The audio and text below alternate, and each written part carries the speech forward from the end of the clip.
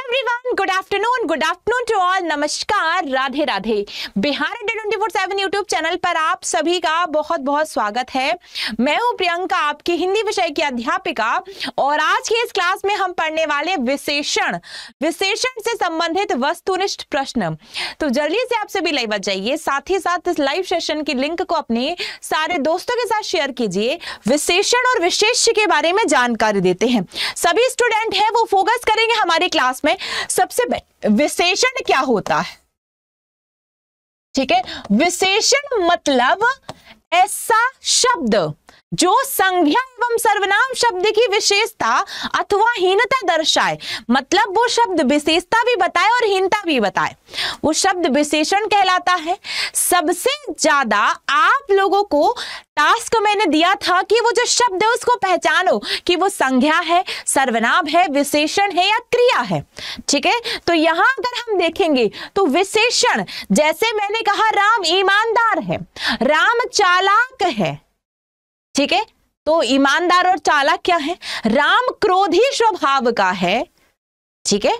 अब यहाँ पे हम देखेंगे तो जैसे राम ईमानदार है, बहुत आसान सा उदाहरण मैंने लिया है कि जो राम है वो ईमानदार है। ठीक है? अब यहाँ पे आपको बताना है कि विशेषण और विशेष्य क्या होगा। ठीक है? विशेषण और विशेष्य क्या होगा? तो जिस शब्द की विशेषता बताई जाए जिस शब्द की विशेषता बताई जाए, वो शब्द विशेष्य कहलाता है। क्या कहलाता है? विशेष्य। और जिस शब्द के द्वारा विशेषता बताई जाए, वो शब्द आपका विशेषण कहलाता है। और विशेष्य और विशेषण से ही आप आगे पढ़ेंगे। समास, कर्मधारय समास और रूपक अलंकार। ठीक है? तो सबसे पहले आप लोगों को विशेषण और विशेष्य को ही पहचानना, सीखना होगा। तब तक आप लोगों को उसके बाद, जैसे कल मैं पदबंध बता रही थी, ठीक है? तो पदबंध में आप लोगों को सबसे पहले जानना है कि पदबंध के पाँच भेद होते हैं, संज्ञा, सर्वनाम, विशेषण, क्रिया और क्रिया विशेषण। तो पहले पूरे टॉपिक को आपको पढ़ना है। ठीक है? चलिए। अब विशेषण के भी भेद होते हैं। सबसे पहला होता है गुणवाचक विशेषण, दूसरा होता है संख्यावाचक विशेषण, तीसरा होता है आपका परिमाणवाचक विशेषण, ठीक है? चौथा होता है आपका सार्वनामिक विशेषण। तो विशेषण के मुख्य रूप से चार भेद आप लोगों ने पढ़े हुए हैं, ठीक है? गुणवाचक विशेषण मतलब जहाँ पर रंग रूप आकार आकृति स्थान का बोध हो, गुण कहलाएगा। जैसे मैंने कहा, कक्षा में दस छात्र हैं। मैदान में चार खिलाड़ी हैं तो दस छात्र, चार खिलाड़ी। वहाँ पे खिलाड़ियों के संबंध में बात हो रही है तो वो संख्या है। ऐसी वस्तुएँ जिनको हम गिन सकते हैं, वो संख्यावाचक विशेषण कहलाता है, और जितनी भी द्रव्यवाचक संख्याएँ होती हैं, ऐसी वस्तुएँ जिनको हम मापते, तौलते हैं। जो अगणनीय होती अनकाउंटेबल होती हैं, वो कहलाती हैं आपकी परिमाणवाचक विशेषण। जैसे उसके पास 200 बीघा ज़मीन है तो ज़मीन को तो हम मापते, तोलते हैं। उसके पास चार लीटर तेल है तो लीटर को हम मापते, तोलते हैं। ठीक है? तो ये सभी जो है वो कहलाएँगे आपके परिमाण।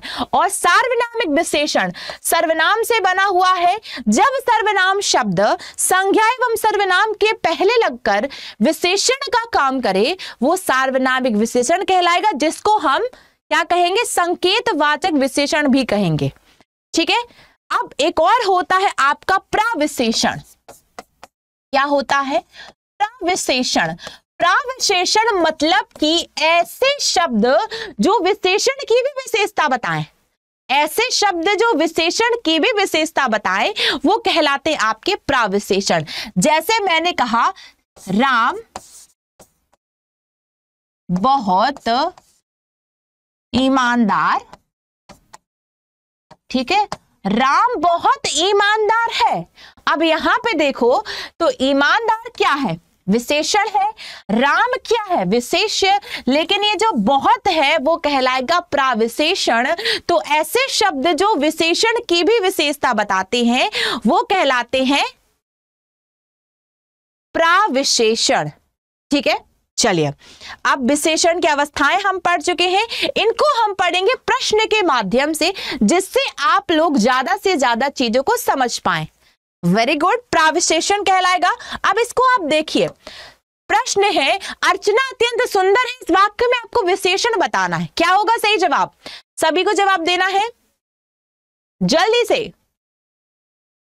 चलिए, जया कुमारी, वियोग रस का दूसरा नाम है विप्रलभ श्रृंगार रस। ठीक है? वियोग रस का दूसरा नाम है विप्रलभ श्रृंगार रस। ठीक है? रंजना जी, पर्यायवाची, ठीक है। कल कोशिश करूँगी आपको पर्यायवाची पढ़ा दू। चलिए बताइए। विशेषण बताना, रिंकू जी थोड़ा सा ध्यान दीजिए। Very good very good Archana हो जाएगा यहाँ पे विशेष्य अत्यंत हो जाएगा प्राविशेषण, सुंदर हो जाएगा विशेषण है हो जाएगी सहायक क्रिया। तो विकल्प सी हमारा राइट आंसर हो जाएगा। Very good everyone next question है, कश्मीरी सेव सिंदूरी लाल होता है। वाक्य में रेखांकित शब्द विशेषण की किस कोटि के अंतर्गत आएगा? बताइए। गुणवाचक होगा, सार्वनामिक होगा, प्राविशेषण होगा या परिमाण होगा? सभी को जवाब देना है। जितने स्टूडेंट क्लास में लाइव देख रहे हैं, बहुत आसान टॉपिक है। पढ़ना इसलिए ज़रूरी है क्योंकि इस एक टॉपिक से बहुत सारे टॉपिक आपस में जुड़े हुए होते हैं। ठीक है? और हम नहीं चाहते कि हमारे एग्ज़ाम्स के लिए हम कोई भी टॉपिक कोई भी टॉपिक को अवॉइड करें। हम सब पढ़ेंगे। हमारा सिलेक्शन होना चाहिए। कुछ भी हो। ठीक है? अलंकार बिल्कुल पढ़ाएँगे, अरे धीरे धीरे रुको, सारा टॉपिक पढ़ाया जाएगा। चलिए तो कश्मीरी सेब सिंदूरी लाल होता है तो ये तो उसका गुण हुआ ना? तो ये तो उसका गुण हुआ। तो ये कहलाएगा आपका गुणवाचक विशेषण। विकल्प A is the right answer next question पे आइए। ऋषि की गाय बहुत दूध देती है। रेखांकित शब्द किस विशेषण का उदाहरण है? बताइए।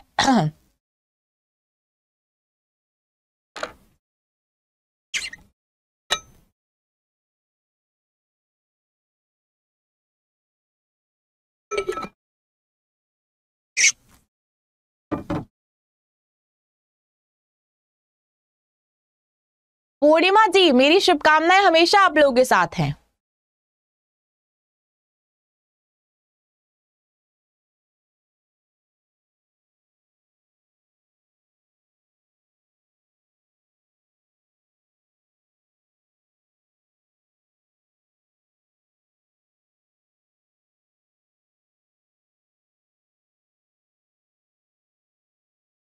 ठीक है?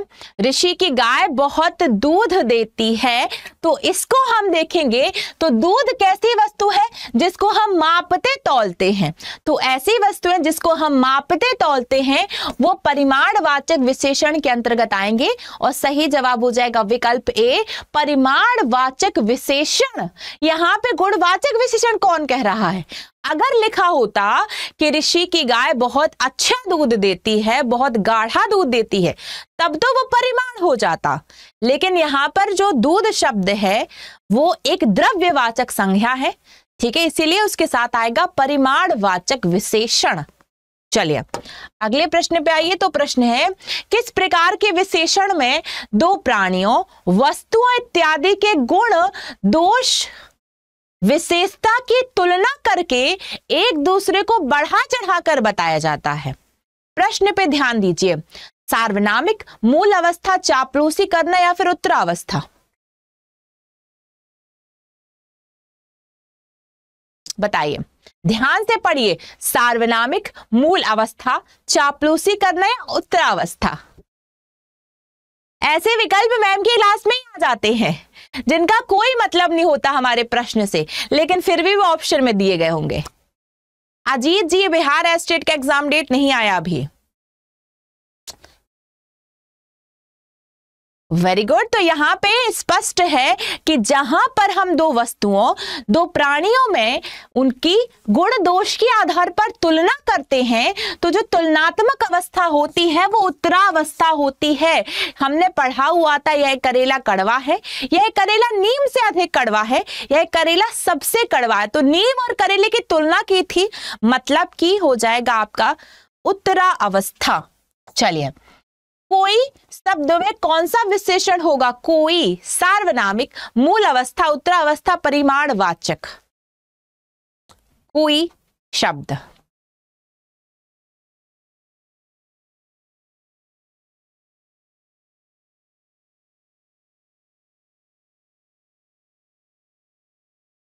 कृष्णा कुमार, रस पढ़ा दे बिल्कुल पढ़ाएँगे। अब यहाँ अगर हम देखेंगे तो कोई क्या है?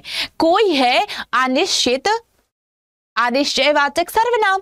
और सर्वनाम शब्द जब सर्वनाम संज्ञा के पहले लगेगा तो एक विशेषण का काम करेगा। नेक्स्ट क्वेश्चन है। उस विकल्प का चयन करें जो विशेषण का भेद है। उस घर में मेरा दोस्त रहता है। निश्चित परिमाण, निश्चित संख्या, सार्वनामिक या गुणवाचक। बताइए।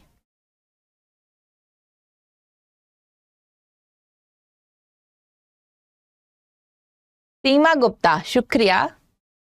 उस घर में मेरा दोस्त रहता है।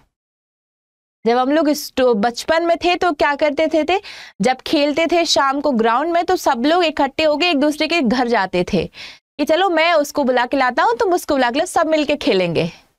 उस घर में मेरा दोस्त रहता है। मतलब घर क्या है?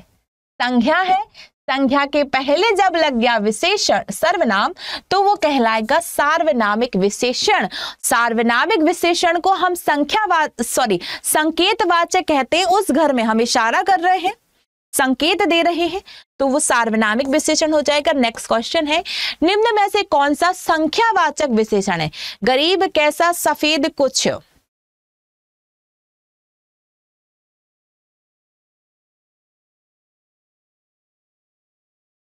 बताइए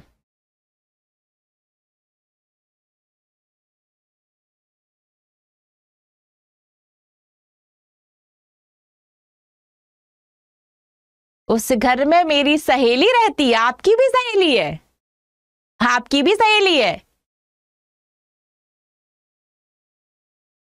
पहले हम लोग छोटे में एक एक पोय, पोयम होती थी। उसको खेलते थे। एक सहेली धूप में बैठी रो रही थी। आप लोगों में से बहुत सारे स्टूडेंट होंगे जो मेरे ही समय के होंगे। उन लोगों ने भी ये खेल खेला होगा। एक सहेली धूप में बैठी रो रही थी। यहाँ पे संख्यावाचक विशेषण है। तो क्लास में कुछ छात्र बातें कर रहे हैं। कुछ छात्र बातें कर रहे हैं। तो ये जो कुछ है, ये हो जाएगा आपका संख्यावाचक विशेषण। ठीक है? अमृतेश कुमार जी बीपीएससी का जो क्लासेस है, वो आपका अभी शुरू नहीं हुआ है। जब होगा तो आपको इन्फॉर्म करेंगे। यह घोड़ा अच्छा है। यह घोड़ा अच्छा है। वाक्य में यह शब्द क्या है? हाँ बहुत सारे लोगों ने खेला होगा।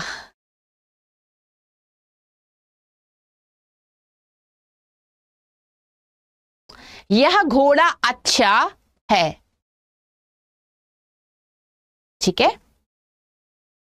यहाँ पे तो ये पता नहीं क्या थोड़ा सा फॉरबेड डिफेक्ट लग रहा है। ठीक है? ये सार्वनामिक ही होगा। विकल्प ए हमारा सही जवाब हो जाएगा। ठीक है? चलिए नेक्स्ट क्वेश्चन पे आइए। तो गिलास में थोड़ा दूध है। गिलास में थोड़ा दूध है, वाक्य में रेखांकित शब्द क्या होगा? संकेत।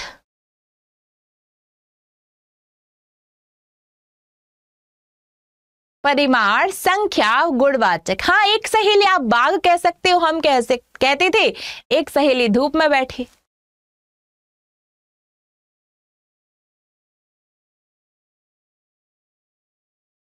चलिए गिलास में थोड़ा दूध है, दूध क्या है? द्रव्यवाचक संख्या, ये हो जाएगा परिमाण और ये जो थोड़ा शब्द है, ये कहलाएगा प्राविशेषण। चलिए नेक्स्ट क्वेश्चन पे आइए। पर्वतीय शब्द कौन सा विशेषण है?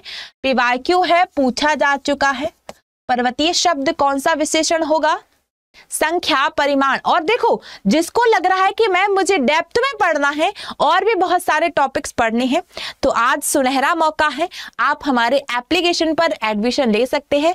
एप्लीकेशन की जो पेड क्लासेस होती है, उसमें हर एक टॉपिक बहुत ही ज़्यादा डेप्थ में, और ऐसा कोई टॉपिक नहीं है, वो जो छोड़ा जाए। तो आप लोग अगर इंटरेस्टेड हैं तो आज ही एडमिशन लीजिए। आज है डबल वेल्टी का ऑफ़र और डिस्काउंट कोड है वाई सिक्स फोर सिक्स चलिए, पर्वतीय शब्द कौन सा विशेषण होगा? पर्वतीय, पर्वत संख्या पर्वत से बना पर्वतीय, और ये स्थान का बोध करा रहा है तो गुणवाचक विशेषण हो जाएगा। नेक्स्ट क्वेश्चन है, स्त्री शब्द से कौन सा विशेषण बनता है? पीवाक्यू है? पूछा जा चुका है, स्त्री शब्द से कौन सा विशेषण बनता है? स्त्री, स्त्रीय, स्त्रैण या स्तैण टीआरई का क्लास अभी चलेगा और चलेगा। टीआरई का अयाची बैच चलेगा 4.0 का भी चलेगा। स्त्री से बनता है स्त्रैण। विकल्प सी हमारा सही जब स्क्रीनशॉट लीजिए इसको। जल्दी से। चलिए नेक्स्ट क्वेश्चन पे आइए। नेक्स्ट क्वेश्चन है हमारा, विशेषण आपको बताना है, भ्रम, शिक्षा, क्षम्य और दया। भ्रम, शिक्षा क्षम्य और दया।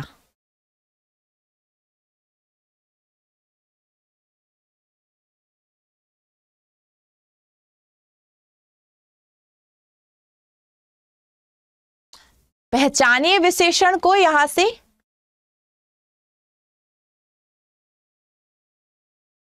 दया एक भावना है, भ्रम भावना है शिक्षा भावना है। ठीक है? आपने भ्रम से पढ़ा होगा भ्रमित। ठीक है? शिक्षा से पढ़ा होगा शिक्षित। दया से पढ़ा होगा दयालु। ठीक है? और क्षमा क्षमा एक भाव है, क्षमा से बना है क्षम्य। क्षमा से बना है क्षम्य तो जो क्षम्य है वो कहलाएगा एक विशेषण, ठीक है?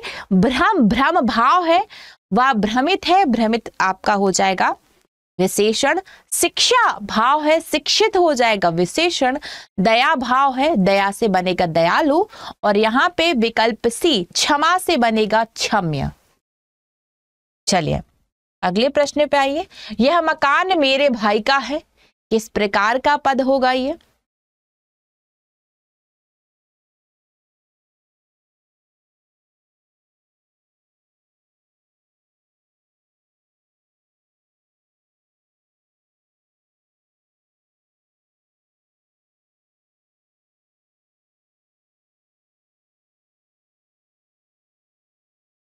ठीक है?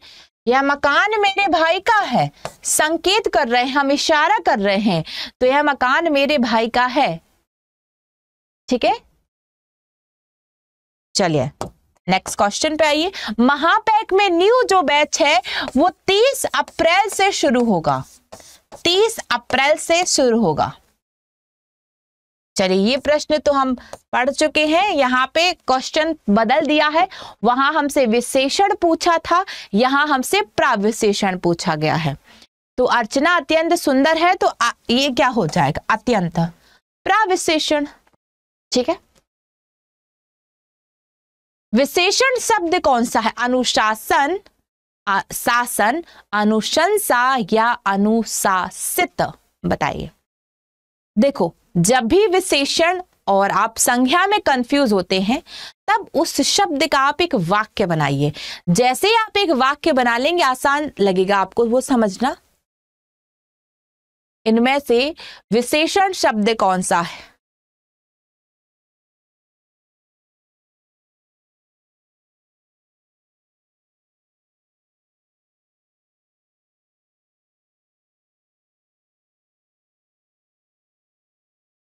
विशेषण शब्द होगा अनुशासित। अनुशासित। वह छात्र अनुशासित है। अनुशासन होगा भाव। अनुशासन से बनेगा अनुशासित। ठीक है? यह करेला कड़वा है। किस अवस्था में आएगा? यह करेला कड़वा है? करेला तो कड़वा होता ही है, फिर भी हम लोग करेले का जूस पीते हैं, ताकि स्वास्थ्य अच्छा रहे। करेला कड़वा है मूल अवस्था। करेला नीम से अधिक कड़वा है उत्तरावस्था। करेला सबसे कड़वा है उत्तमावस्था। चार विकल्प में संख्या सबसे बनने वाला सही विशेषण क्या होगा? शक्तिवर्धक शक्ति रोधक शक्तिशाली या सशक्त? बताइए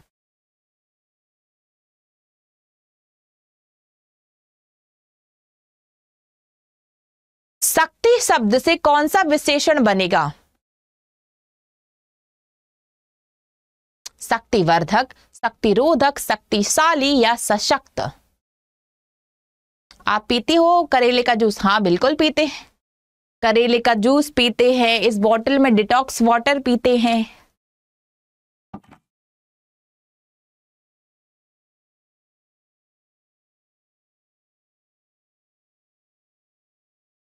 सही बनेगा शक्तिशाली। शक्तिशाली जो है, वो एक विशेषण है तो विकल्प सी सही जवाब हो जाएगा। अगले प्रश्न पे आएँगे, चर्चा शब्द से कौन सा विशेषण बनेगा? चर्चा। चर्चित, चर्चाएँ, चर्या या चर्चा?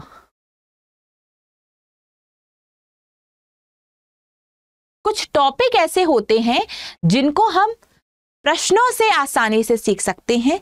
कुछ टॉपिक ऐसे होते हैं, उनको हमें डेप्थ में पढ़ना होता है। ठीक है? चर्चा से बनेगा चर्चित चर्चित, विकल्प ए, चर्चा चर्चा से बनेगा चर्चित। चलिए नेक्स्ट क्वेश्चन पे आइए। बसंत के मौसम में पीले फूल खिलते हैं। प्रयुक्त वाक्य में आपको विशेषण बताना है। मौसम पीले वसंत या फूल? लगाइए लॉजिक लगाइए अपना दिमाग।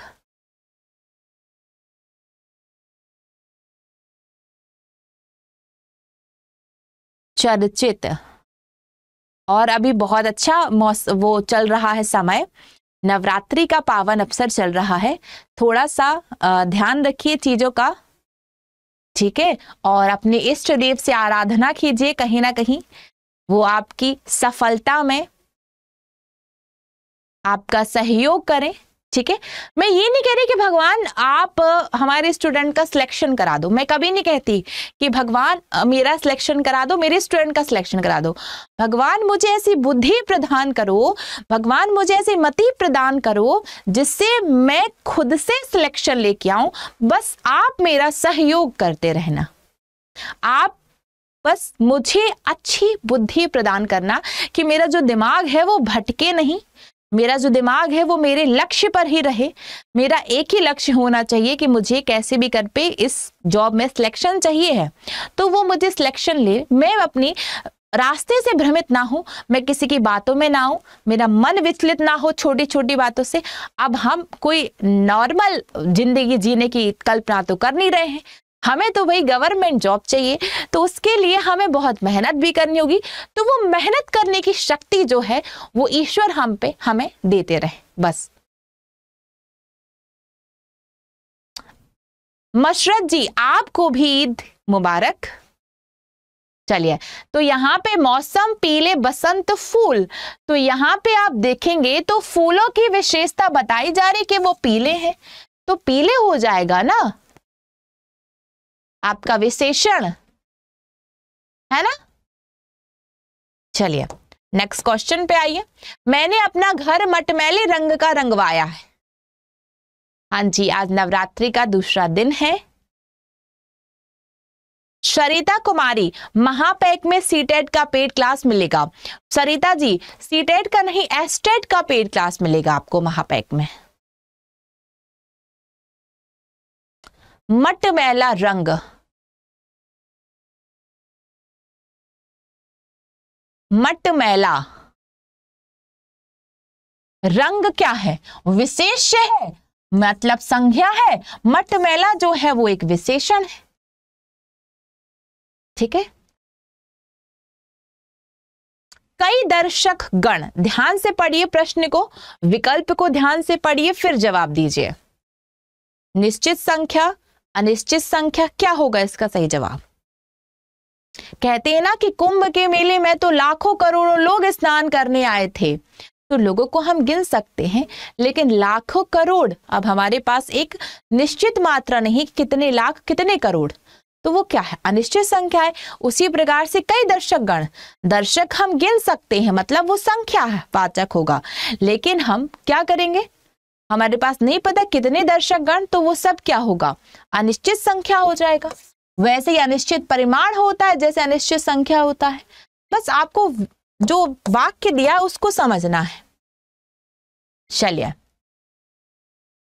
किस गुणवाचक विशेषण के प्रकार है? अच्छा दानी, न्यायी, कृपालु। जब आप डेफ्थ में पढ़ेंगे तो आप गुणवाचक विशेषण के भी प्रकार पढ़ेंगे। आकार है, दोष है, गंध है या गुण है। तो अच्छा दानी न्यायी कृपालु ये किस प्रकार के विशेषण के अंतर्गत आएँगे? बताइए।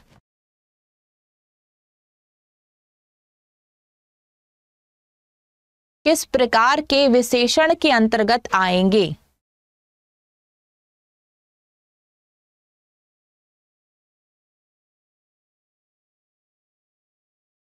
अब यहाँ पे हम देख लेते हैं।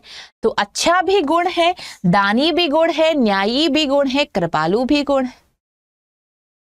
अगले प्रश्न पे आइए।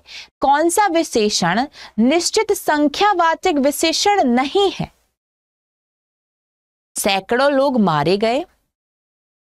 एक किलो आम से ज़्यादा मत लाना। कुर्ते के लिए दो मीटर कपड़ा चाहिए। चाय में परा यहाँ पे क्वेश्चन थोड़ा सा गलत है?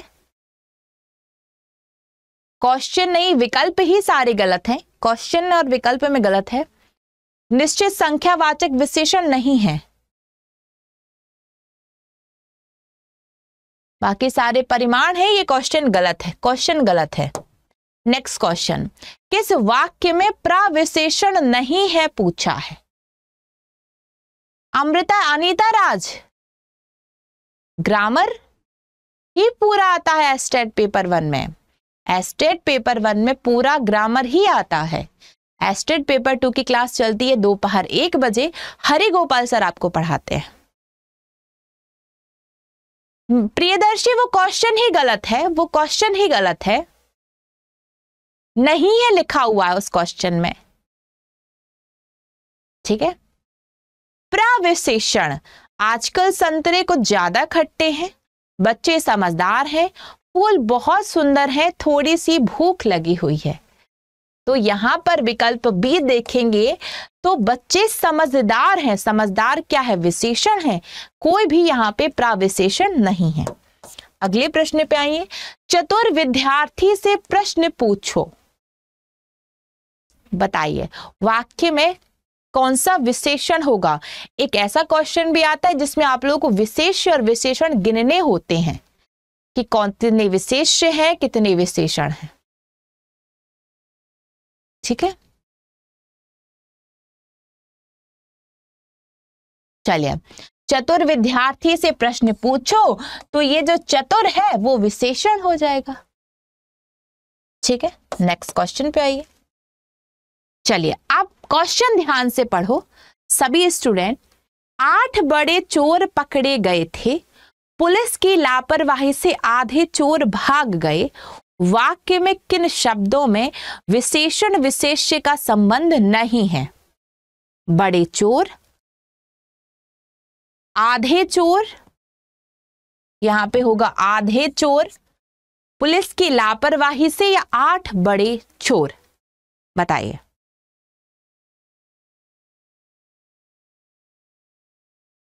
पलक जी क्लासेस जो है कभी कभी नहीं मिलती हैं। क्लासेस का लिए आप चैनल को सब्सक्राइब कर लीजिए।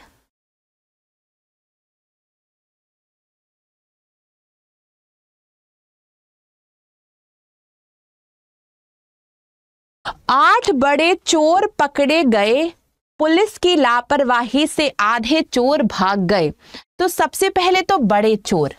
ये विशेषण विशेष्य है। आधे चोर। ये विशेषण विशेष्य है। आठ बड़े चोर विशेष लेकिन पुलिस की लापरवाही इसमें विशेषण और विशेष्य का योग नहीं है। कौन सा शब्द विशेषण है? ध्यान से पढ़ो। प्रश्न पूछा जा चुका है ये वाला। पीवाईक्यू है। क्रोधी, कंटक, चुनौती या राही? बताइए।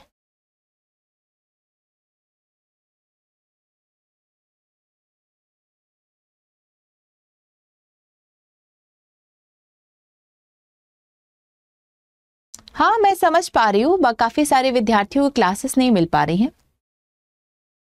सत्ताईस फिर से समझा दीजिए, बिल्कुल समझाते हैं।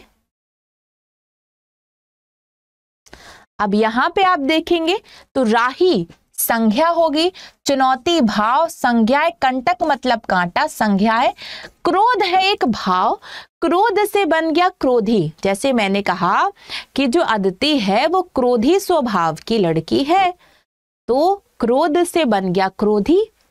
सत्ताईसवा प्रश्न हमसे दोबारा पूछा है तो शुरुआत में अगर आप क्लास में रही हो तो मैंने विशेषण और विशेष पहचानना बताया था।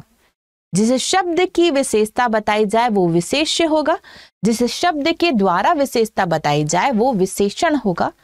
तो यहाँ पर पुलिस की लापरवाही पूछा क्या है? ऐसा कौन सा वाक्य जिसमें विशेषण विशेष नहीं है? तो यहाँ पे चोर विशेष चोर विशेष चोर विशेष ये शब्द विशेषण है। लेकिन सी में कोई विशेष और विशेषण नहीं है।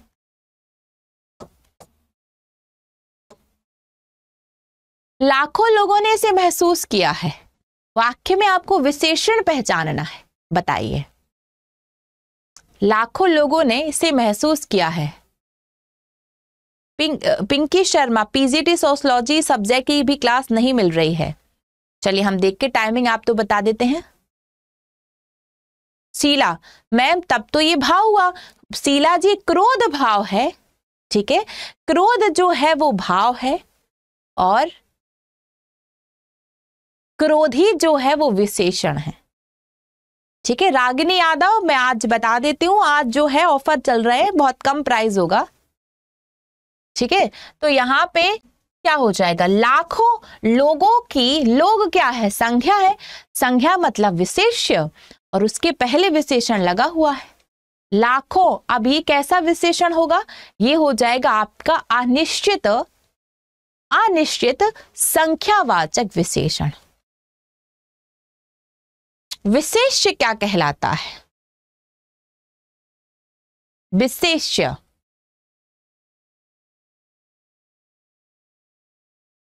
कीर्ति जी बहुत बहुत शुक्रिया। क्रोध जो है, वो भाव है। क्रोध से बना क्रोध ही। मैंने कहा, मैंने यहाँ पे अदिति की विशेषता बताई, हीनता बताई, अदिति क्रोधी है। तो वो विशेषण ही हुआ ना? क्रोधी, क्रोधित, क्रुद्ध, ये सभी विशेषण होंगे। चलिए, पुष्पा कुमारी, महसूस करना, महसूस जो है, वो विशेषण नहीं हुआ। जैसे मैंने कहा, प्रियदर्शी महसूस है। ये कोई प्रियदर्शी की विशेषता बता, आप वाक्य बनाइए ना। महसूस आपका विशेषण कैसे हो जाएगा? विशेषण तो वो होता है जो किसी की विशेषता या फिर हीनता दर्शाता है। यहाँ पे तो प्रियदर्शी महसूस है। इस वाक्य में कोई भी प्रियदर्शी के विषय में बात नहीं हो रही है। महसूस करना, भाव। जिसको आप इंग्लिश में कहते हो फीलिंग्स फीलिंग्स एग्जेक्टिव थोड़ी हो जाएँगे। जिस शब्द की विशेषता बताई जाए, वो शब्द कहलाता है आपका विशेष ठीक है? और जिस शब्द के द्वारा बताई जाए, वो कहलाता है विशेषण।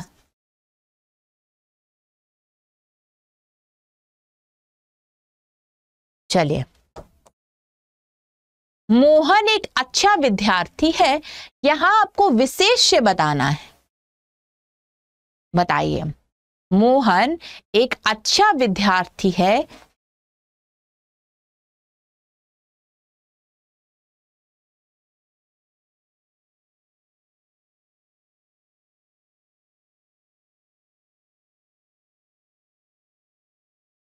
वेरी गुड सीमा जी अब यहाँ पे मोहन की विशेषता बताई जा रही है। ठीक है? मोहन की विशेषता बताई जा रही है तो मोहन क्या हो जाएगा? विशेष्य।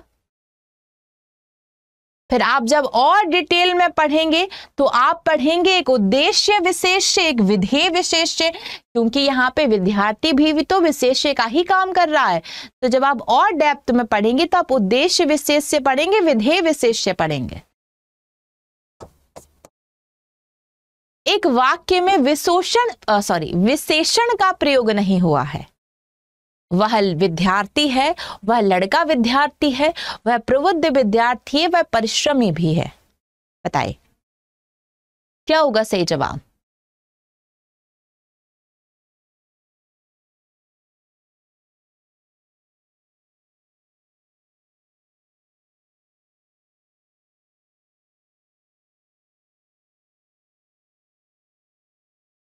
वह विद्यार्थी है, वह लड़का विद्यार्थी है, वह प्रबुद्ध विद्यार्थी है, वह परिश्रमी भी है। अब यहाँ पे देखेंगे तो वह विद्यार्थी है। इसमें कोई भी विशेषण नहीं होगा। है ना? विशेषण शब्द नहीं है पूछा गया है।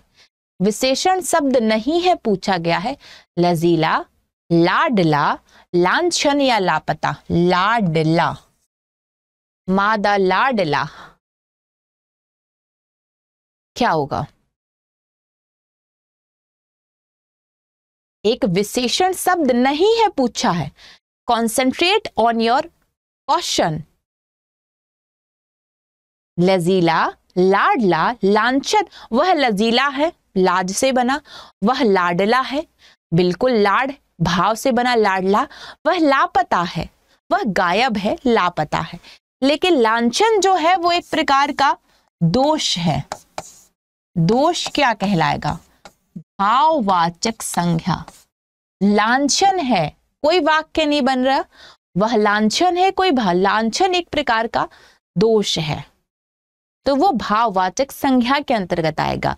जैसे मैंने कहा, राम लजीला है, विशेषण राम लाडला है, विशेषण है, लाम लापता, राम लापता है बिल्कुल विशेषण है, लेकिन राम लांछन है।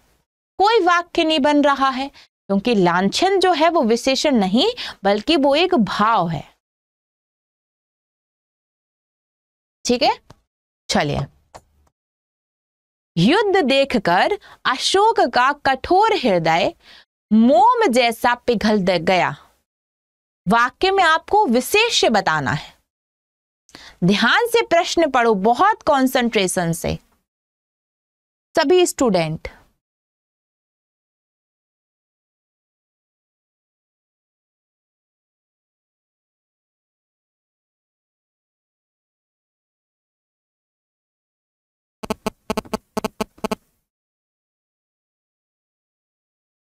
लजीला का मतलब हो जाएगा शर्माना। लाज, शर्म। शर्म से बना शर्माना, वैसे ही लज, लाज से बना लजीला। अशोक कैसे हो जाएगा, प्रियदर्शी? अशोक कैसे हो जाएगा? अशोक की विशेषता तो यहाँ पे बताई नहीं गई। यहाँ पे तो हृदय की विशेषता बताई गई ना, कि हृदय जो है वो कठोर है। हृदय जो है वो कठोर है तो आंसर हृदय होगा कि अशोक होगा। बताओ, अगर हम विशेषण और विशेष्य को देखेंगे तो यह देखकर अशोक, इसके पहले कोई भी नहीं लगा है जो हृदय की विशेषता बताई गई है कि हृदय कठोर है। तो राइट आंसर तो हृदय होगा ना, विकल्प सी होगा ना। हृदय हृदय कैसा है? कठोर है। जूही सिंह वेरी गुड निपात पढ़ने हैं आपको, चलिए पढ़ा देंगे। तो राइट आंसर हो जाएगा हृदय। चलिए, अगले प्रश्न पे आइए।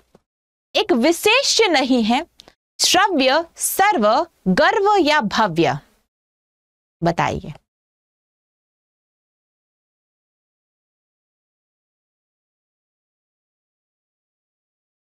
और बहुत ही अच्छा मौका है। पता नहीं इसके बाद बहुत दिनों तक कोई त्योहार नहीं और हमारे महापैक पर कोई ऑफ़र नहीं होगा।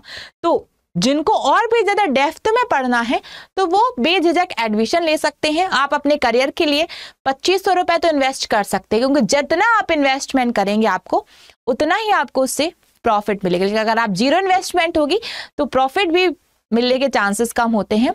तो इन्वेस्टमेंट कीजिए और बैच परचेस कीजिए और अपने सिलेक्शन को एक नया मौका दीजिए।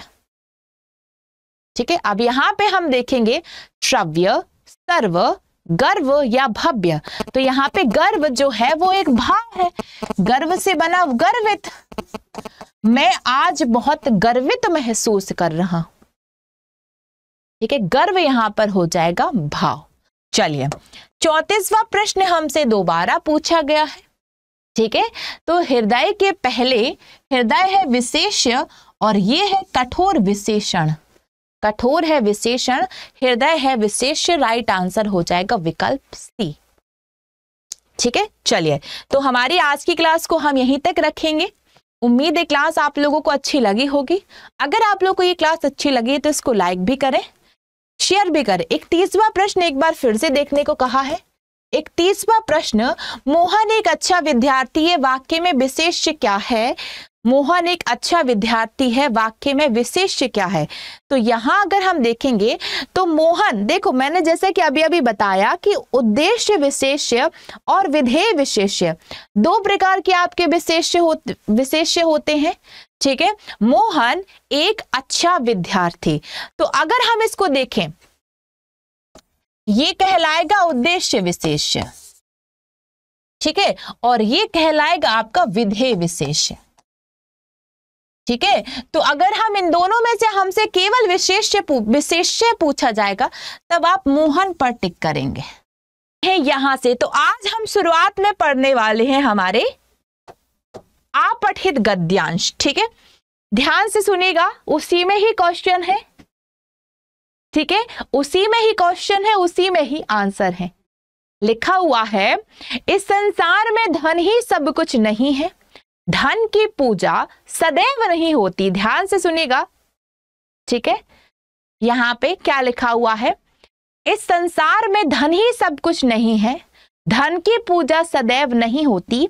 इतिहास साक्षी है उन व्यक्तियों की, ध्यान से सुनिए, इतिहास साक्षी है, उन व्यक्तियों की कीर्ति अक्षय। अक्षय मतलब जिसे कभी क्षय नहीं किया जा सकता। उन व्यक्तियों की कीर्ति अक्षय है जिन्होंने केवल धन उपार्जन, यहाँ पर धन धन उपार्जन से बना है। धन उपार्जन गुड़ स्वर संधि लगा हुआ है। धन उपार्जन में अपना जीवन नहीं बिताया वरन ऐसे कार्य भी किए जिनसे मानव समाज का कल्याण हुआ। जिन लोगों का उद्देश्य केवल धन बटोरना रहा है, उनकी प्रतिष्ठा कभी भी स्थायी नहीं रही है। ठीक है? आगे बढ़ेंगे। देखो, एक बार और पढ़ो ताकि एक बार आप लोगों को माइंड में अच्छे से बैठ जाए। इस संसार में धन ही सब कुछ नहीं है। धन की पूजा सदैव नहीं होती। इतिहास साक्षी उनका व्यक्तियों की कीर्ति अक्षय है, जिन्होंने केवल धनोपार्जन में ही अपना जीवन नहीं बिताया, बल्कि ऐसे काम भी किए जिससे मानव समाज का कल्याण हो। जिन लोगों का उद्देश्य केवल धन बटोरना रहा है, उनकी प्रतिष्ठा स्थायी नहीं रही है। ठीक है? फिर आगे यहाँ पे लिखा हुआ है, पूजा उन्हीं की की गई है जिन्होंने मानव समाज की भलाई के लिए, मानव समाज के कल्याण के क्षेत्र में योगदान दिया हुआ है।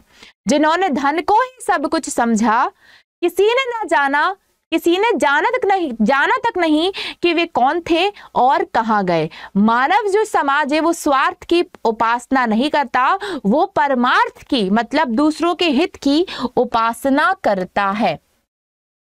ठीक है, चलिए। इसी में क्वेश्चन इसी में आंसर है।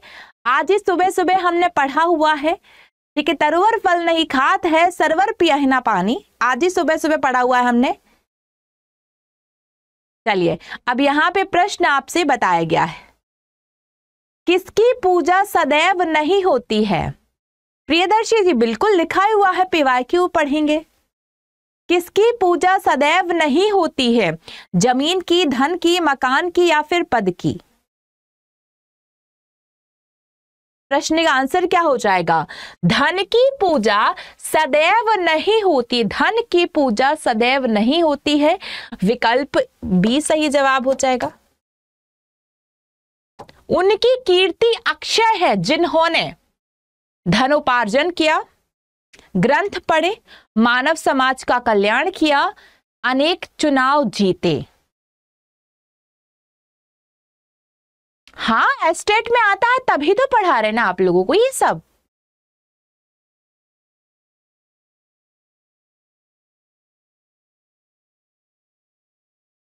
अक्षय मतलब जिसका कभी क्षय नहीं होता, उनकी कीर्ति अक्षय है जिन्होंने मानव समाज के कल्याण का कार्य किया हुआ है। विकल्प सी। अगले प्रश्न पे आइए। उनकी प्रतिष्ठा स्थायी नहीं रही जिन्होंने, उनकी प्रतिष्ठा स्थायी नहीं रही जिन्होंने धन बटोरा, समाज कल्याण किया बड़े बड़े पद प्राप्त किए या अनेक युद्ध किए। बताइए।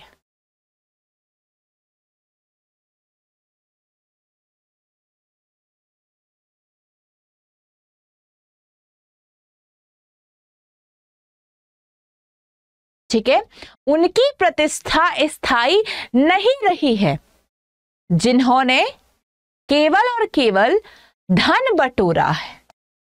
उनकी प्रतिष्ठा स्थायी नहीं रही, जिन्होंने केवल धन बटोरा है। विकल्प ए सही जवाब हो जाएगा। अगले प्रश्न पे आएँगे तो पूजा उन्हें की की गई? ध्यान से सुनिए, पूजा उन्हें की की गई, जिन्होंने, क्या होगा राइट आंसर देखो, विकल्प आपको गद्यांश में ही प्रश्न दिए हैं, गद्यांश में ही उत्तर दिए हैं, बस आपको बहुत ही एकाग्रता से कंसंट्रेशन के साथ पढ़ना होगा। कामना यादव, सही जवाब हो जाएगा धन बटोरा। विकल्प के हिसाब से धन बटोरा सही जवाब हो जाएगा। यहाँ पे पूजा उन्हीं की की गई है जिन्होंने मानव समाज की भलाई की। विकल्प सी हमारा सही जवाब होगा। चलिए अगले प्रश्न पे आ जाइए। मानव समाज किसकी उपासना नहीं करता है? मानव समाज किसकी उपासना नहीं करता है? धन की, ज्ञान की, वैभव की या फिर स्वार्थ की? बताइए।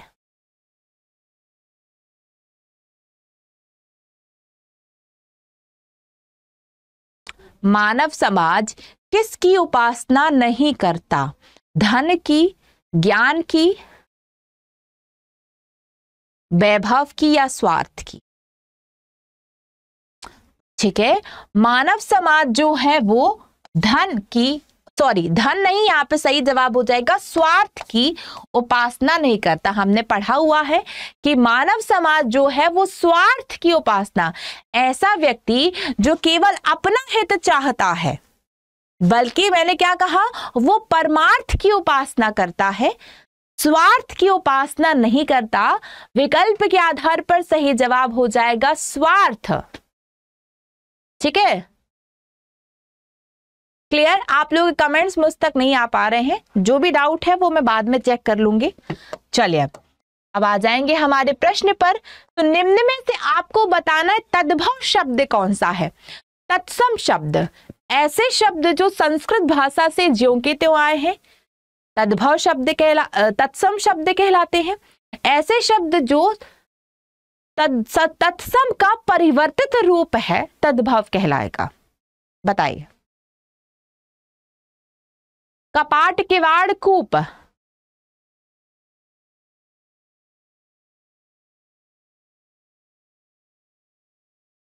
प्रीति गुप्ता, पैसेज में मैंने देख लिया है।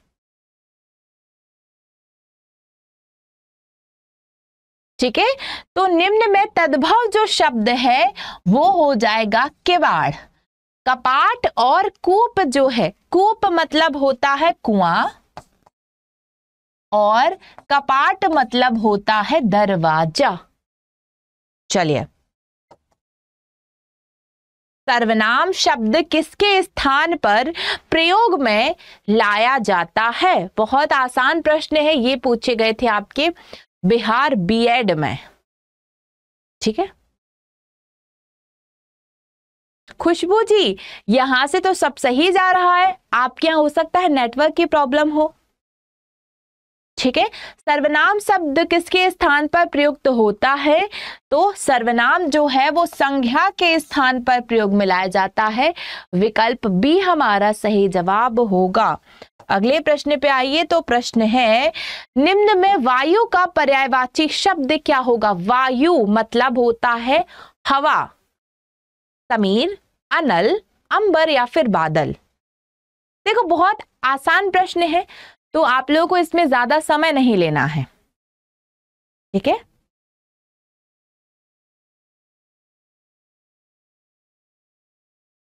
वायु का पर्यायवाची शब्द होता है समीर।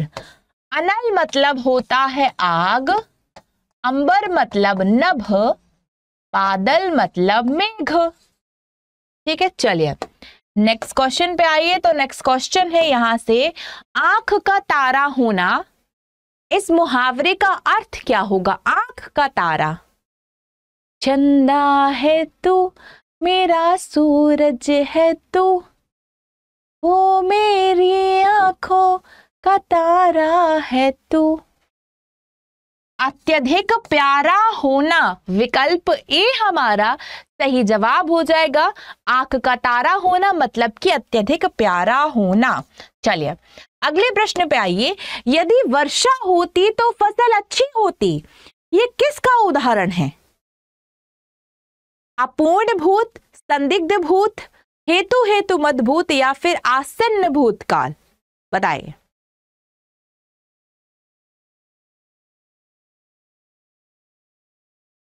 चलिए, अमृतेश का एक क्वेश्चन बार बार आ रहा है। ठीक है, प्रश्न है, मैडम जी, हम महापैक लिए जो सत्रह सड़सठ में पढ़ा है, क्या क्लास सही आपके बताया हुआ कोड लगाए हैं?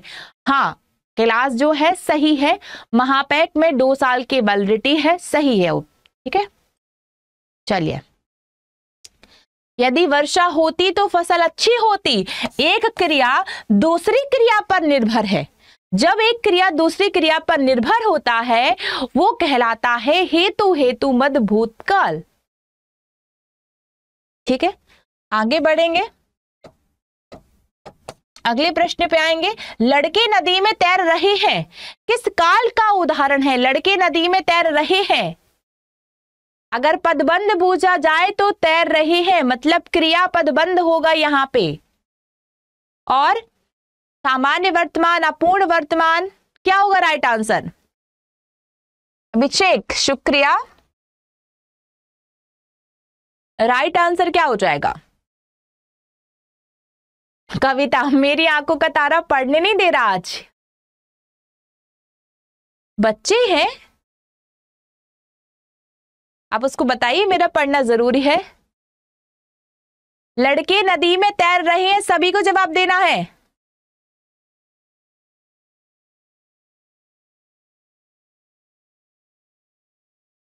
ठीक है? क्या हो जाएगा आंसर? रहा है, रही है मतलब कि अपूर्ण वर्तमान काल। नेक्स्ट क्वेश्चन पे आइएगा। नेक्स्ट क्वेश्चन है, अर्थ की दृष्टि से निम्न शब्दों में से कौन सा शब्द है जो भिन्न है? पथ, डगर, राह, धरा। अर्थ की दृष्टि से कौन सा शब्द है जो भिन्न है? पथ मतलब रास्ता, डगर मतलब रास्ता, राह मतलब रास्ता और धरा मतलब होता है पृथ्वी। तो विकल्प यहाँ पे डी हमारा सही जवाब हो जाएगा। ठीक है? आगे बढ़ेंगे हम। नेक्स्ट क्वेश्चन पे आएँगे तो क्वेश्चन है दर्शनीय शब्द में कौन सा प्रत्यय है? ई, नी, ई, या या। ये प्रश्न पीवाई क्यों है, पूछा जा चुका है। अब आप कैसे बताओगे प्रत्यय क्या है? प्रत्यय जो अंत में लगता है तो प्रत्यय के लिए आपको मूल शब्द पहचानना होगा। यहाँ पे दर्शन जो है, वो मूल शब्द है। दर्शन शब्द हमेशा बहुवचन के अंतर्गत आता है और इसमें ईय प्रत्यय लगा हुआ है। अगर आप बोल दोगे नीय तो ये गलत हो जाएगा। सही जवाब हो जाएगा ईय प्रत्यय। ठीक है? चलिए अगले प्रश्न पे आ जाइए। तो प्रश्न है, पुनर्जन्म शब्द का सही संधि विच्छेद क्या है? पुनर्जन्म का सही संधि विच्छेद। सभी को जवाब देना है। पुनर्जन्म। विसर्ग संधि है। पुनः धन जन्म और विसर्ग का रा बन रहा है। सही जवाब हो जाएगा विकल्प पुनर्जन्म, पुनः धन, जन्म, विसर्ग का दूसरा नियम, विसर्ग का रा बनना। कीर्ति का विलोम, कीर्ति मतलब होता है यश, वैभव, उसका विलोम होता है अपकीर्ति। देखो, यहाँ पे विकल्प आपको कंफ्यूज करेंगे, लेकिन याद रखो, कीर्ति का विलोम हो जाता है अपकीर्ति। यश का विलोम, अपयश। अगले प्रश्न पे आइए। देशभक्त किस तत्पुरुष समाज का उदाहरण है? संबंध करण कर्म या संप्रदान? सभी को जवाब देना है, देशभक्त जो है, वो किस शब्द का उदाहरण है? जल्दी से जवाब दीजिए। देशभक्त। संबंध करण, कर्म या संप्रदान?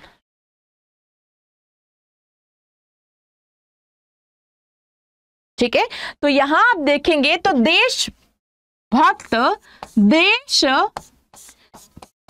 के भक्त। ठीक है? ध्यान से पढ़िएगा। तो ये कहलाएगा संबंध। लेकिन यदि यहाँ पर लिख जाए देशभक्ति देशभक्ति तो उसका समास विग्रह होता है देश के लिए भक्ति। क्या होता है? देश के लिए भक्ति दोनों में अंतर है। हमसे देशभक्त पूछा गया है तो सही जवाब हो जाएगा संबंध तत्पुरुष, देश के भक्त। चलिए, अगले प्रश्न पे आइए। पवन शब्द में आपको संधि बतानी है। संधि, पवन पवन, उच्चारण करेंगे अगर आप लोग यहाँ पर तो पवन, क्या हो जाएगा? अब की ध्वनि निकल रही है।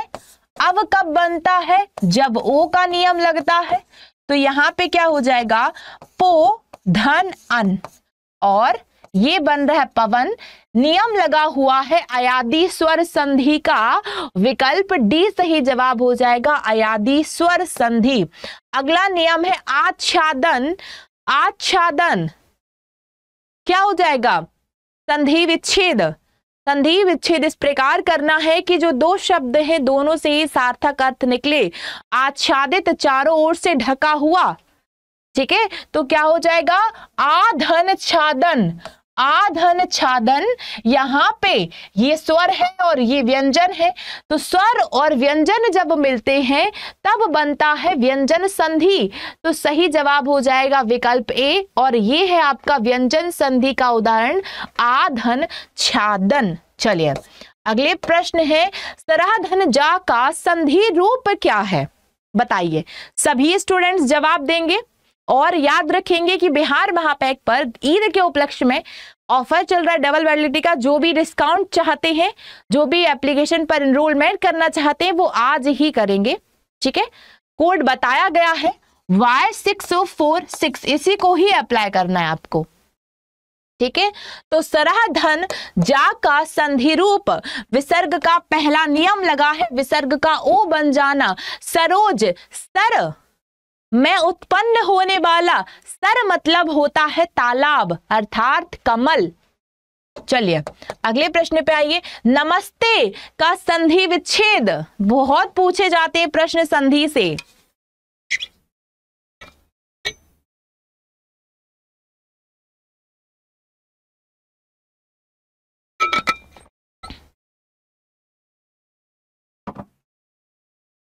नमस्ते का संधि विच्छेद होता है।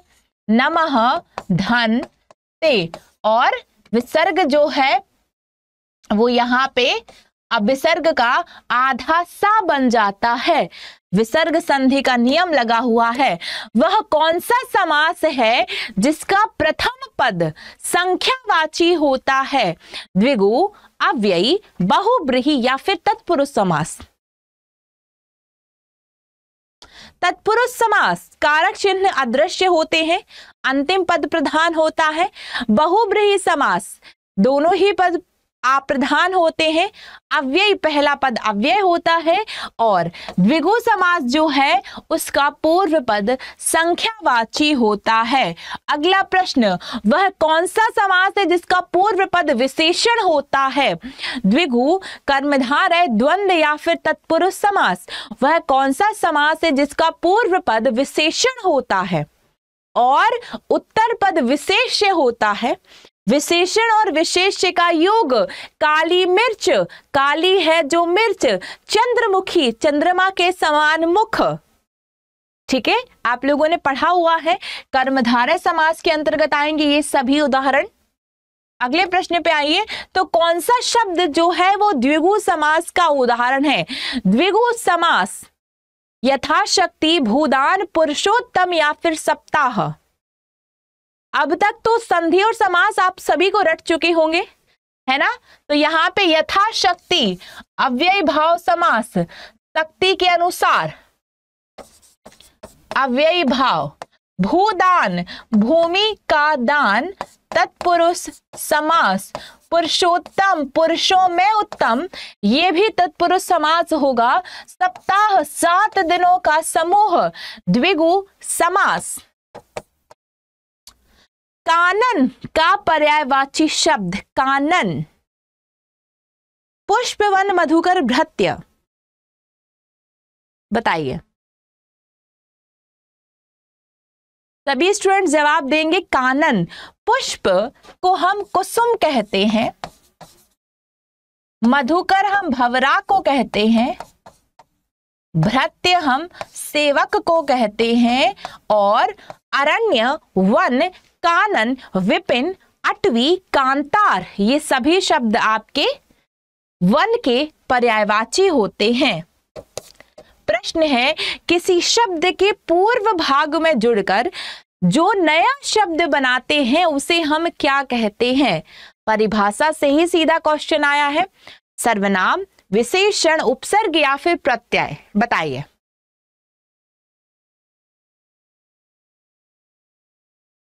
अलंकार में बहुत दिक्कत होती है। कोई बात नहीं, अलंकार भी पढ़ेंगे हम। ठीक है? तो जो किसी शब्द के पहले लगकर उसका अर्थ बदल दे, उपसर्ग, और उपसर्ग जो है वो अव्यय कहलाते हैं अविकारी शब्द कहलाते हैं। नेक्स्ट क्वेश्चन सफ़ाई में प्रत्यय बताना है। सफ़ाई, बताइए।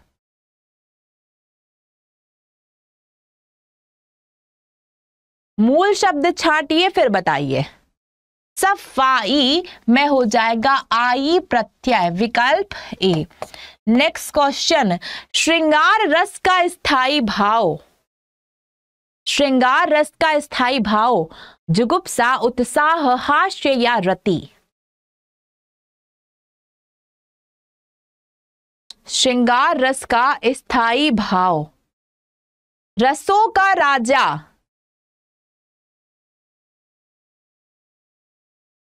आप लोगों ने पढ़ा होगा।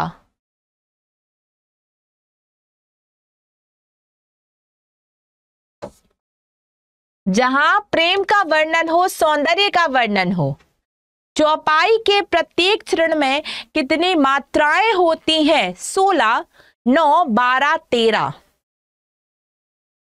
बहुत बेसिक क्वेश्चंस हैं, जो कहीं ना कहीं पूछे गए आज ज़्यादा जल्दी करा रहे हैं। चलिए, आराम से कराते हैं।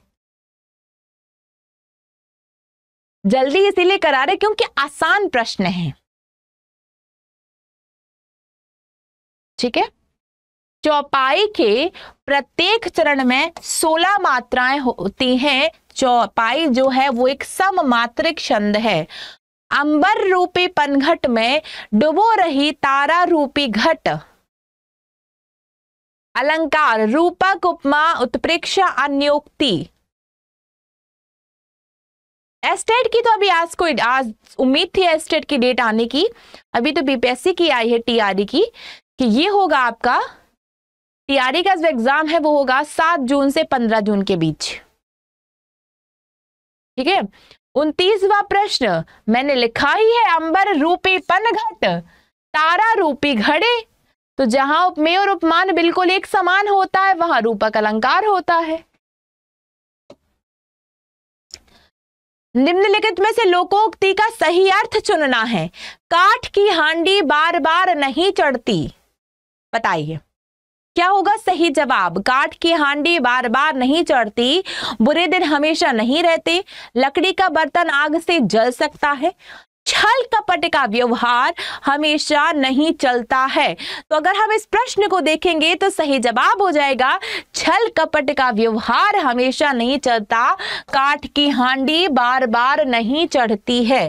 अगले प्रश्न पे आइए, प्रश्न है, दो वर्णों के मेल से उत्पन्न होने वाला विकार विकार मतलब कहलाता है परिवर्तन, जिसको हम बदलाव और चेंज भी कहेंगे। ठीक है? तो दो वर्ण वर्ण मतलब होता अक्षर। तो दो वर्णों को मेल होता है। जब जो बेकार होता है वो संधि संधि के तीन भेद, स्वर, व्यंजन और विसर्ग। सबके नियम आपको कंठस्थ याद होने चाहिए। समास का अर्थ क्या है? समास दो या दो से अधिक शब्द मिलकर जब किसी तीसरे नए एवं सार्थक शब्द की रचना करें, उसे हम समास कहते हैं। संक्षेप, व्यास, सार या टिप्पणी। बताइए।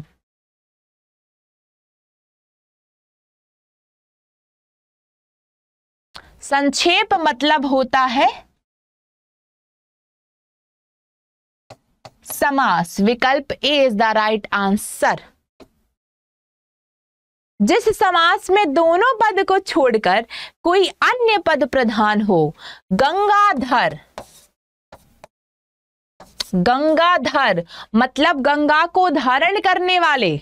ना तो गंगा यहाँ पे प्रधान है, ना धर प्रधान है, बल्कि विशेष अर्थ निकल रहा है, वो है आपका बहुब्रीही समास, विकल्प सी बहुब्रीही समास। प्रश्न है, संधि और समास में क्या समानता है? क्यों है? पूछा जा चुका है। संधि और समास दोनों में विच्छेद होता है, दोनों में विग्रह होता है, दोनों में शब्द संक्षिप्त हो जाते हैं, दोनों में शब्द विकार होता है। बताइए।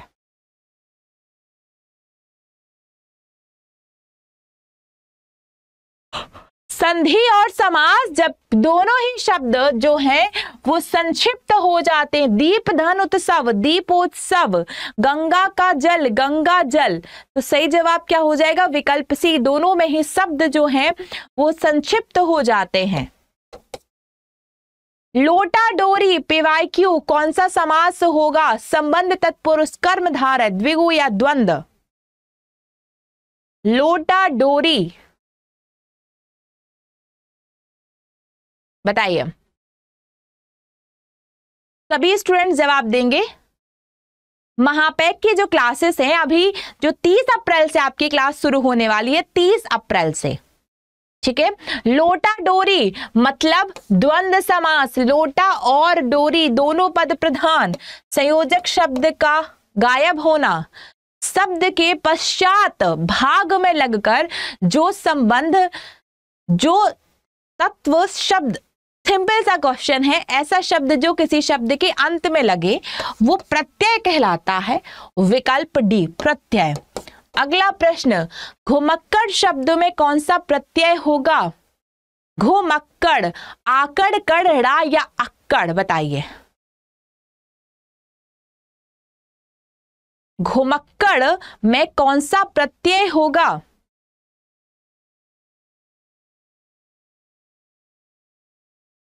घुमक्कड़, घूमना मुख्य शब्द अक्कड़ हो जाएगा, प्रत्यय पूछा जा चुका है। कवि बिहारी लाल किस रस के कवि थे? कवि बिहारी, जिनकी एकमात्र रचना है, एक ही रचना से उन्होंने गागर में सागर भरने का काम किया हुआ है। क्या हो जाएगा? कवि जो थे वो श्रृंगार रस के कवि थे।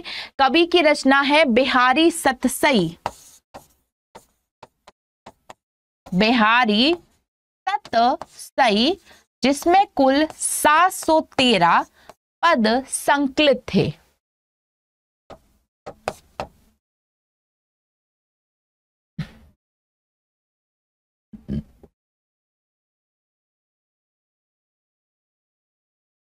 दोहे के पहले और तीसरे चरण में कितनी मात्राएँ होती हैं?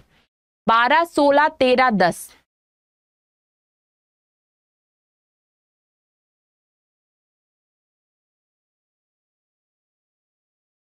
दोहे के पहले और तीसरे चरण में तेरह तेरह मात्राएँ होती हैं। दोहे का उल्टा होता है सोरठा। तीन बेर खाती, सो सोबे तीन बेर खाती हैं। अलंकार बताना है उपमा श्लेष यमक या फिर उत्प्रेक्षा अलंकार। तीन बेर खाती सोबे, तीन बेर खाती है। अलंकार बताना है।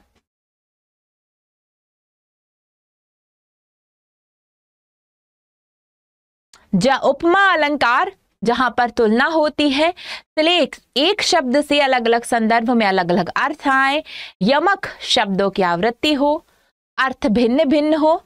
उत्प्रेक्षा, तुलना प्लस कल्पना, यमक। बेर मतलब फल, बेर मतलब समय। विकल्प सी, यमक अलंकार। अगला प्रश्न, अंडे का सहजादा, मुहावरे का अर्थ? कमज़ोर व्यक्ति, चालाक, अनुभवी, अनुभवहीन। बताइए।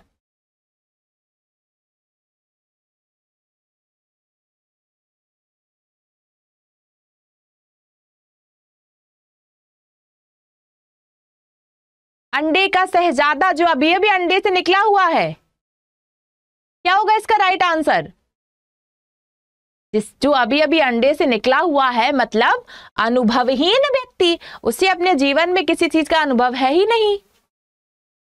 अनुभवी कैसे हो जाएगा? अनुभवी व्यक्ति कैसे होगा?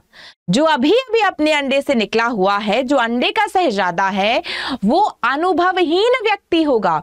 इसके अर्थ को समझिए अनुभवहीन व्यक्ति।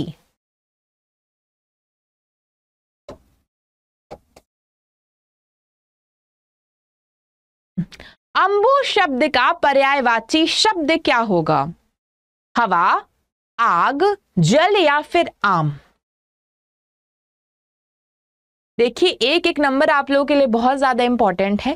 प्रश्न पढ़िए, थोड़ा सा लॉजिक लगाइए ना।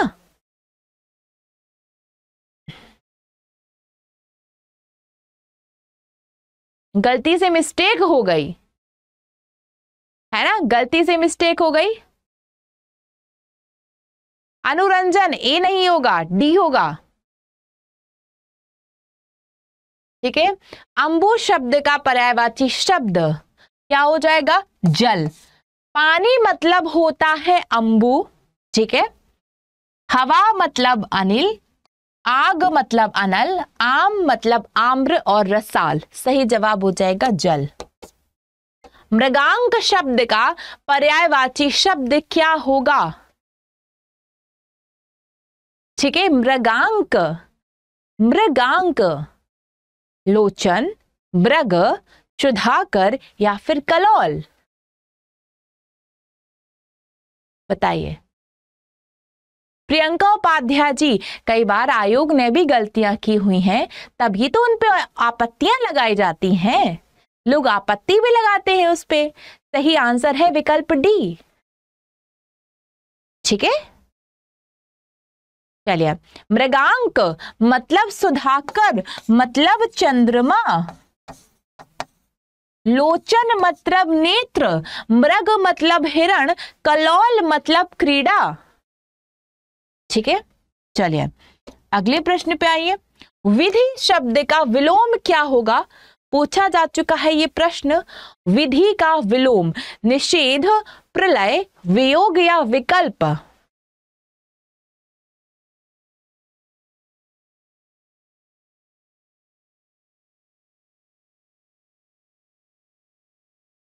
कलोल मतलब क्रीड़ा, खेलना। अच्छा अंबु और अम्बुज को, चलिए। इसको हम क्लियर कर देते हैं। ठीक है तो यहाँ से क्वेश्चन आया है। ठीक है, अंबु। तो आपको ना पढ़ा होगा अंबुज और अंबुद।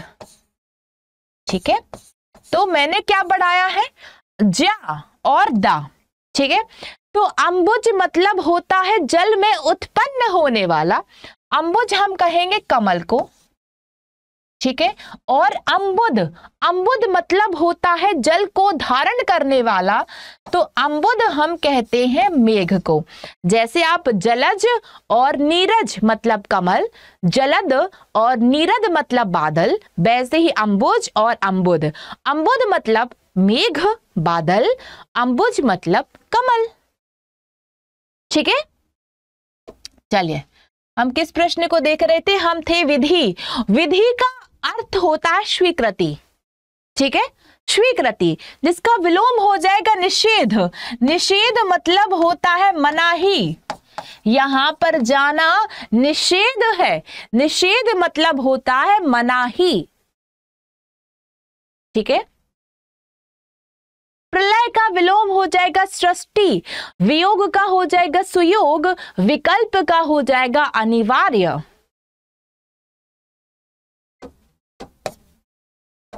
अशुद्ध वर्तनी महत्व वाल्मीकि पैतृक या उज्जवल।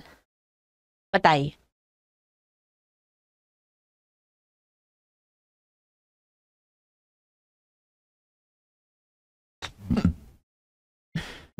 और जो भी स्टूडेंट हैं, जो क्लास में अवेलेबल नहीं है, ठीक है?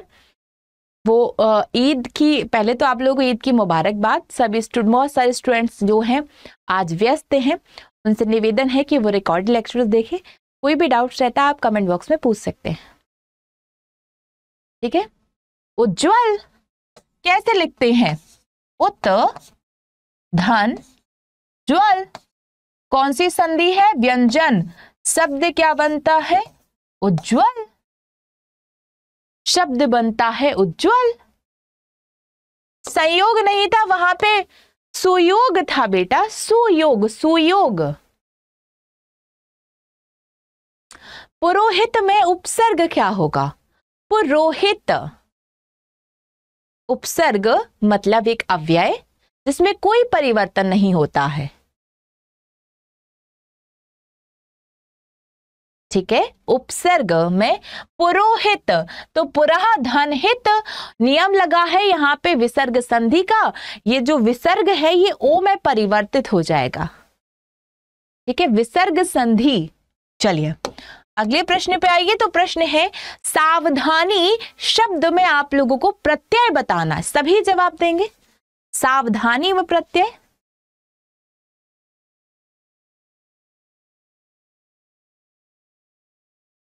ममता प्रजापति, बिल्कुल, अगर आप लेना चाहती हैं तो आप आज ही लीजिए। एक महीने में आपका पूरा कोर्स जो है, वो डिटेल में पूरा हो जाएगा। लेकिन आज ही लेंगे आप तो आपको कम पैसे लगेंगे। ठीक है? कोड आपको मेरा ही लगाना है, जिससे आपको मेरी क्लासेस मिले। सावधानी। अरे बाबा रे! सब लोग आने आने क्यों कह रहे हैं? सावधानी आनी प्रत्यय कैसे हो जाएगा? जब मूल शब्द सावधान है, मैंने क्या बताया है कि पहले मूल शब्द देखो तो सावधान, धन ई। तो ए होगा ना आंसर। ए होगा ना आंसर, सावधान, धन ई। तो प्रत्यय उपसर्ग के लिए पहले आप लोगों को मूल शब्द पहचानने हैं। चलिए नेक्स्ट क्वेश्चन निम्नलिखित में से कौन सा शब्द जो है उपसर्ग रहित है? जिसमें उपसर्ग है ही नहीं। आसन, आकार, आनंद या फिर आरोहण? बताइए। आकार, आसन, आनंद या आरोहण? बबीता जी, सिविल कोर्ट की एग्ज़ाम डेट अभी नहीं आई है। ठीक है? अब यहाँ पे कार मूल शब्द है, नंद मूल शब्द है, रोहन है, लेकिन सन कोई मूल शब्द नहीं है। आंसर हो जाएगा उपसर्ग रहित शब्द, विकल्प ए, क्योंकि उपसर्ग के लिए हमें पहले मूल शब्द पहचानना है। तो आसन में कोई मूल शब्द नहीं है। ये छोटे छोटे जो क्वेश्चन जो हमें आसान लगते हैं ना, कई बार हम गलतियाँ इन्हीं पे आके करते हैं। ठीक है? चलिए, अगले प्रश्न पे आइए। द्वंद समास का उदाहरण, द्वंद। प्रत्यक्ष शीतोष्ण मन चाह गौशाला। बताइए। द्वंद समास, प्रत्यक्ष प्रतिधनक्ष।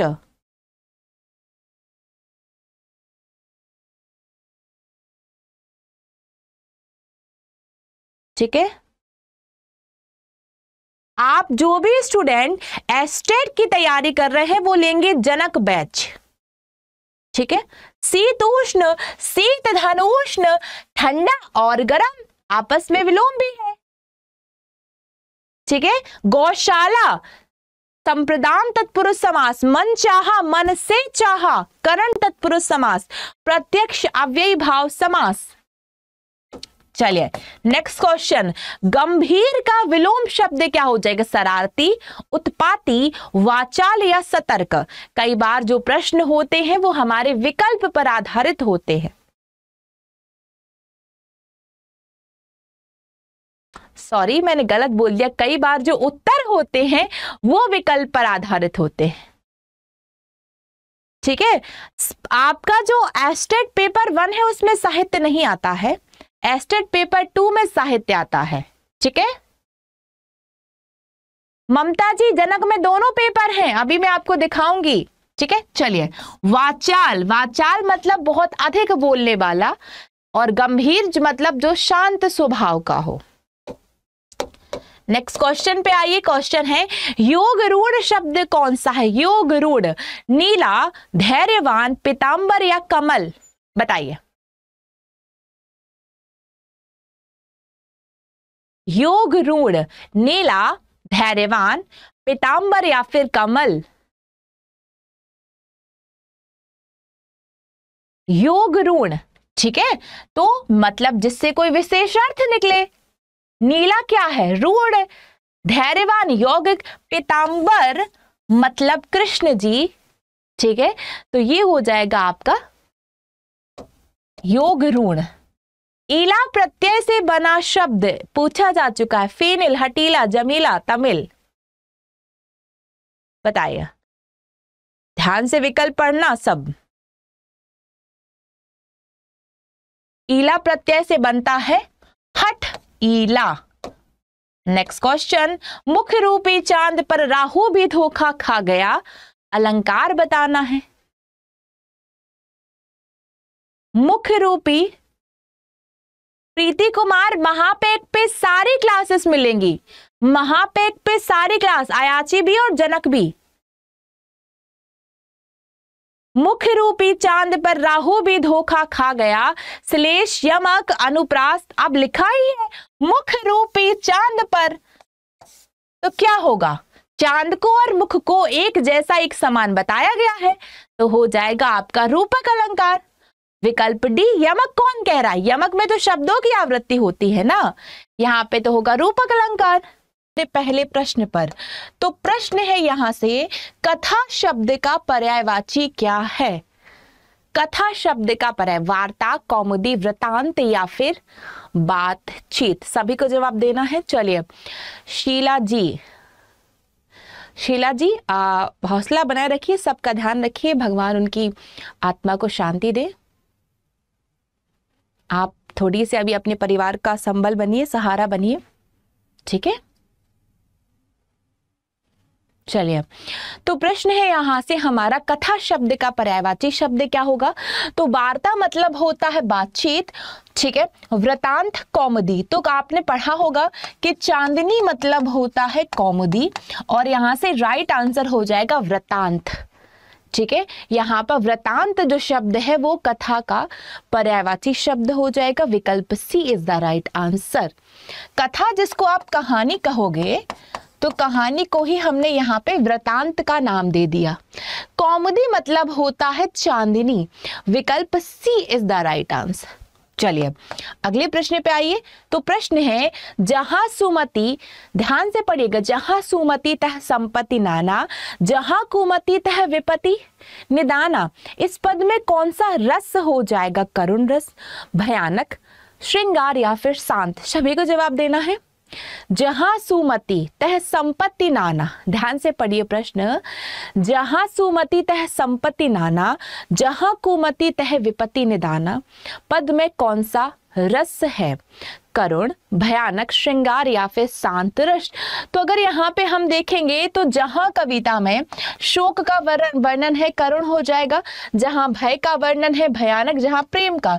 लेकिन यहाँ पर जो है लेखक कह रहे हैं कि जहाँ पर अच्छी मति है, वहाँ पर हर प्रकार की संपत्ति है और जहाँ पर कुबुद्धि है बुरी मति है, वहाँ पर तरह तरह की विपत्तियाँ हैं। तो यहाँ पर जो रस है वो होगा शांत रस। विकल्प D is the right answer. Next question पे आइए तो नेक्स्ट क्वेश्चन है, भाषा शिक्षक में क्या होना चाहिए?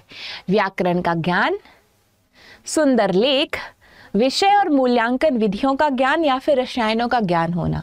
आपको भी पता है कि जो आपका एस्टेट है, उसमें आपको 30 नंबर का आर्ट ऑफ़ टीचिंग से भी क्वेश्चंस पूछे जाने हैं। ठीक है, जो कि आपके आलोक सर पढ़ा रहे हैं, सुबह दस बजे उसकी क्लास होती है। भाषा शिक्षक में होना आवश्यक नहीं है। सॉरी यहाँ पे प्रश्न है। भाषा शिक्षक में होना आवश्यक नहीं है। ठीक है? नम्रता सुंदरम जी, नम्रता जी, अगर आपको कॉन्सेप्ट पता है तो आप यूट्यूब से पढ़ सकते हैं। अगर आपको कॉन्सेप्ट नहीं पता है तो आप खरीद सकती हैं। महापैक लेने की ज़रूरत नहीं है, आप बैच ही कर लीजिए। ठीक है? तो यहाँ पर आंसर हो जाएगा सुंदर लेख। ठीक है? यहाँ पर आंसर हो जाएगा सुंदर लेख, क्योंकि प्रश्न पूछा है, भाषा शिक्षक में होना आवश्यक नहीं है। ठीक है? आवश्यक नहीं है। तो प्रश्न के हिसाब से हम विकल्प बी पे टिक करेंगे, सुंदर लेख। ठीक है? अगर ये प्रश्न पूछा जाता कि भाषा शिक्षक में क्या होना आवश्यक है, तब आप बताते कि विषय मूल्यांकन विधियों का ज्ञान। लेकिन नहीं है पूछा है तो सुंदर लेख हम उस पर टिक करेंगे। ठीक है? रसायनों का ज्ञान होना अनिवार्य हो जाएगा, व्याकरण का भी अनिवार्य हो जाएगा, विषय का मूल्यांकन भी अनिवार्य हो जाएगा। ठीक है? अब यहाँ पे अगर हम देखें तो सुंदर लेख जो है वो अनिवार्य नहीं है। विकल्प बी। वैसे तो रसायनों का ज्ञान भी अनिवार्य नहीं है, ठीक है? लेकिन अगर आप विज्ञान के विषय बन, के, विज्ञान के शिक्षक बन रहे हैं तो उसके हिसाब से ये विकल्प सही हो सकता है। सुंदर लेख जो है, वो गलत हो जाएगा, ठीक है? अगर हम विकल्प पे ध्यान दें तो हम विकल्प के हिसाब से बी को सही मानेंगे। वैसे बी और डी दोनों ही सही है, लेकिन हम हम देंगे प्रायोरिटी बी को सुंदर लेख, ठीक है? चलिए नेक्स्ट क्वेश्चन पे आइए तो नेक्स्ट क्वेश्चन यहाँ से हो जाएगा, प्रत्येक शब्द में कौन सी संधि होगी? तो सबसे पहले आपको यहाँ पर हम लिखेंगे, संधि होनी चाहिए अयादि संधि, यण संधि, वृद्धि संधि या फिर गुण संधि। तो संधि पूछा जाए तो आपको क्या करना है? सबसे पहले संधि विच्छेद करना है, फिर संधि का नियम लगाना है, ठीक है? प्रीति गुप्ता जी, अगर हम विकल्प को देखें तो हम सुंदर लेख पे टिक कर सकते हैं। ठीक है? तो यहाँ पे अगर हम देखें कि प्रत्येक शब्द में कौन सी संधि होगी तो संधि विच्छेद क्या हो जाएगा? प्रति धन एक। ठीक है? अब यहाँ पे आप लोगों को नियम लगाना है। ठीक है? नियम लगाना है। कैसे? प्रथम का अंतिम, द्वितीय का प्रथम तो ई के बाद कोई भी भिन्न स्वर आ गया तो यह बन रहा है। और यह जो नियम है, यह यण स्वर संधि का नियम है। तो विकल्प जो बी है, वो हमारा सही जवाब हो जाएगा। ठीक है? चलिए, प्रश्न है, हिंदी का प्रथम मौलिक उपन्यास किसे महान माना जाता है? यहाँ पर उपन्यास की बात की गई है, नूतन ब्रह्मचारी, तितली, त्यागपत्र या फिर परीक्षा गुरु तो जो भी स्टूडेंट्स हैं, जो लिटरेचर पढ़े हुए हैं, पढ़ा हुआ है, ठीक है? ब्रह्मचारी का पढ़ा हुआ है, तितली, जयशंकर प्रसाद पढ़ा हुआ है, त्यागपत्र, जिनेन्द्र कुमार पढ़ा हुआ है। लेकिन हमसे प्रश्न पूछा गया, हिंदी का प्रथम मौलिक उपन्यास कौन सा होगा?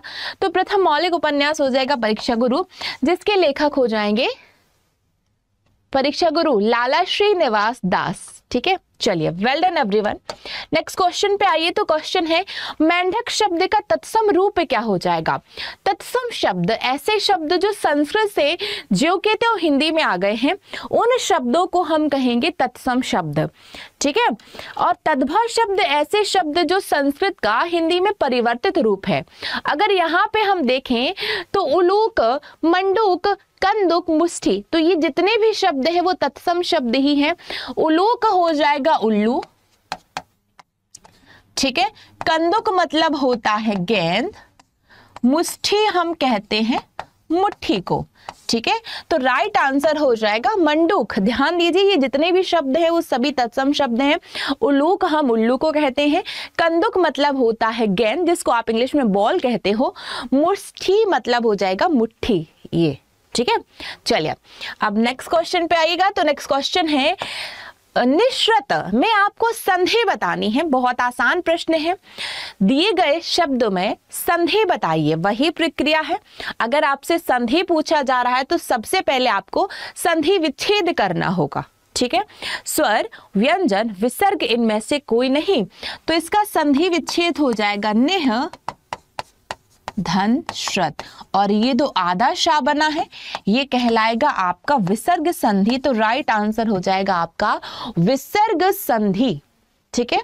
चलिए, अगेन हम आएँगे हमारे नेक्स्ट क्वेश्चन पे। तो क्वेश्चन है, निम्नलिखित में से कौन सा शब्द जो है, वो कृदंत प्रत्यय से बना हुआ है?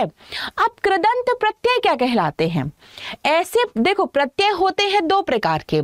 पहला तद्दित प्रत्यय, दूसरा कृदंत प्रत्यय। तद्दित प्रत्यय ऐसा प्रत्यय जो संज्ञा सर्वनाम विशेषण के अंत में लगता है। कृदंत प्रत्यय, ऐसा प्रत्यय जो क्रिया के अंत में लगता है। तो पहले तो आप लोगों को पहचानना है कि क्रिया क्या है, संज्ञा क्या है, सर्वनाम क्या है, विशेषण क्या है। ठीक है? अब रंग क्या है? संज्ञा। तो रंग से बना रंगीला। रंग मतलब जातिवाचक संज्ञा, रंगीला। ठीक है? कृपा, भाववाचक संज्ञा। कृपा से बन गया कृपालु। दूध। दूध द्रव्यवाचक संज्ञा, दूध से बन गया दुधारू, लेकिन बेचना जो है, बेचना जो है वो एक क्रिया है। ठीक है? क्रिया के अंत में जो प्रत्यय लगता है, वो कहलाता है कृदंत प्रत्यय। तो यहाँ पे बिकाऊ जो है, वो कृदंत प्रत्यय के अंतर्गत आ जाएगा। ठीक है? चलिए। प्रश्न है आप लोगों से, घनानंद किस धारा विशेष के प्रमुख कवि थे? घनानंद, जिनको हिंदी साहित्य में प्रेम के पीर का कवि कहा जाता है, जिनको जवादानी का दावा रखने वाले पहले कवि कहा जाता है। घनानंद, जो कि मोहम्मद शाह रंगीले के दरबार में मुंशी के पद पर कार्यरत थे। उसके बाद अपनी वहाँ की नर्तकी सुजान से अलगाव के बाद वो ब्रज आ गए और रचनाएँ लिखने लगे। और जो घनानंद थे, वो रेती काल के रेती मुक्त काव्य धारा के कवि थे। सही जवाब हो जाएगा विकल्प सी। प्रश्न है, उपसर्ग रहित शब्द बताना है। उपसर्ग रहित शब्द क्या होता है? ऐसे शब्द जिसमें उपसर्ग है ही नहीं। ठीक है? पराभव अत्याचार, दुर्गम या फिर गुणवान नो डाउट हम जब भी उपसर्ग प्रत्यय पढ़ेंगे तो हमें उसके पहले क्या पढ़ना क्या पढ़ना होगा? उसका जो मूल शब्द है, वो हमें पता होना चाहिए। जैसे पराभव, ठीक है? तो पर धन अभाव से बनेगा पर धन अभाव से बनेगा पराभव। विसर्ग है सॉरी विसर्ग नहीं, उपसर्ग है। अत्याचार अति धन आचार से बनेगा, दुर्गम दुह धन गम से बनेगा। गुणवान जो शब्द है, उसमें प्रत्यय लगा हुआ है तो विकल्प जो डी होगा सही जवाब हो जाएगा। गुणवान जो शब्द है, उसमें लगा हुआ है प्रत्यय। विकल्प D is the right answer ठीक है? चलिए वेरी गुड एवरीवन अगर हम प्रश्न देखें, दसवा, ग्यारहवा प्रश्न तो ऊँट के मुँह में जीरा का अर्थ क्या? जब हमारी माँ हमें कुछ खाना देती है, कुछ बहुत इंटरेस्टिंग सा बनाती है तो भाई बहन आपस में लड़ते कहते कि माँ अपने ऊँट के मुँह में जीरा दे दिया। मतलब क्या हो जाएगा इसका? बहुत बड़े प्राणी का भोजन बनाना, बहुत अधिक खाने वाले को बहुत कम देना, जानवरों को दवाई देना, बड़े प्राणी को सांत्वना देना। नो डाउट ऊँट के मुँह में जीरा मतलब बहुत अधिक खाने वाले को बहुत कम मिलना। मतलब कह सकते हैं अत्यंत अल्प मात्रा में वस्तु का मिलना। ठीक है? तो राइट आंसर क्या हो जाएगा यहाँ पे? विकल्प बी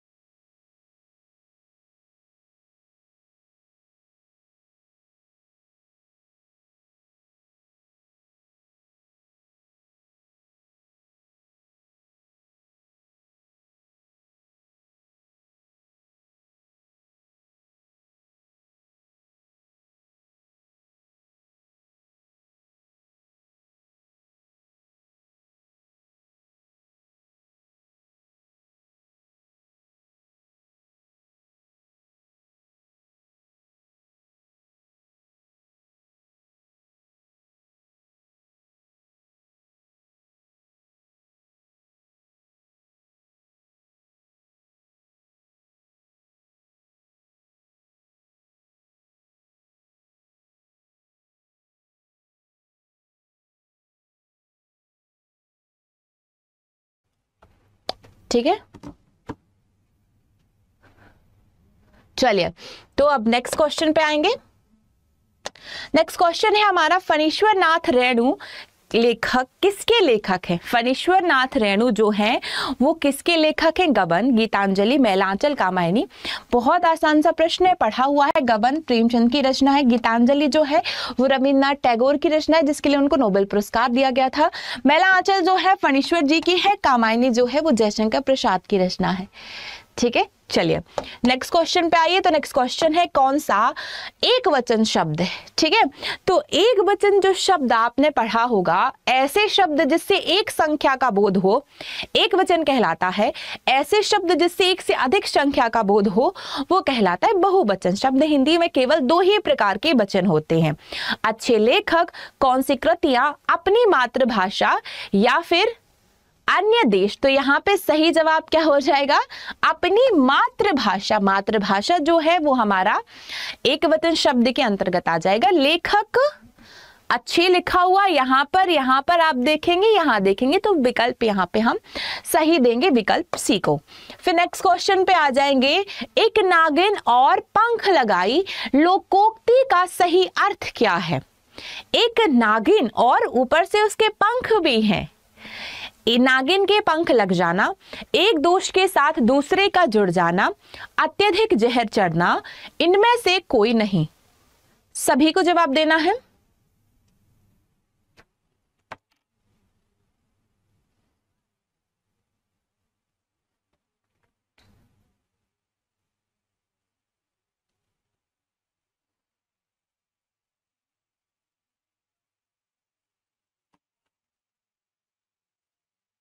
ठीक है? तो एक दोष के साथ दूसरे दोष का जुड़ जाना विकल्प B is the right answer next question पे आइए। नेक्स्ट क्वेश्चन है अंदर अंदर कढ़ाई में गुड़ पकना। अंदर अंदर कढ़ाई में गुड़ पकना। ठीक है? गुप्त मंत्रणा अपने में सीमित होना ज्ञान होना या काम ना आ, आना।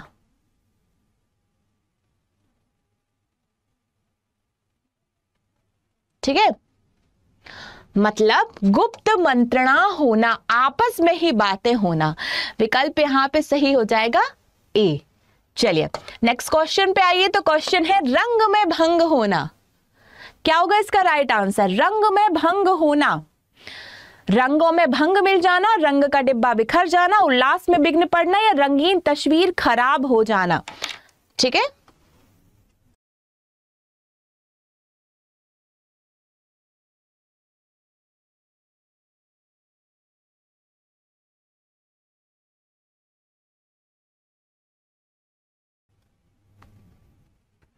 ठीक है? रंग में भंग होना मतलब उल्लास में विघ्न पड़ना। विकल्प सी हमारा सही जवाब हो जाएगा उल्लास में विघ्न पड़ना। नेक्स्ट क्वेश्चन पे आइए तो क्वेश्चन है यहाँ से। ध्यान से पढ़िएगा प्रश्न, क्या होगा? जब रा किसी व्यंजन के पीछे लगता है तो उसे वर्ण का स्थान का ध्यान से सुनिएगा प्रश्न क्या है? जब रा किसी व्यंजन के पीछे लगता है तो उसे वर्ण का स्थान कहाँ मिलेगा? ऊपर, नीचे, मध्य या प्रारंभ? बताइए। क्वेश्चन समझो थोड़ा सा लॉजिक लगाओ।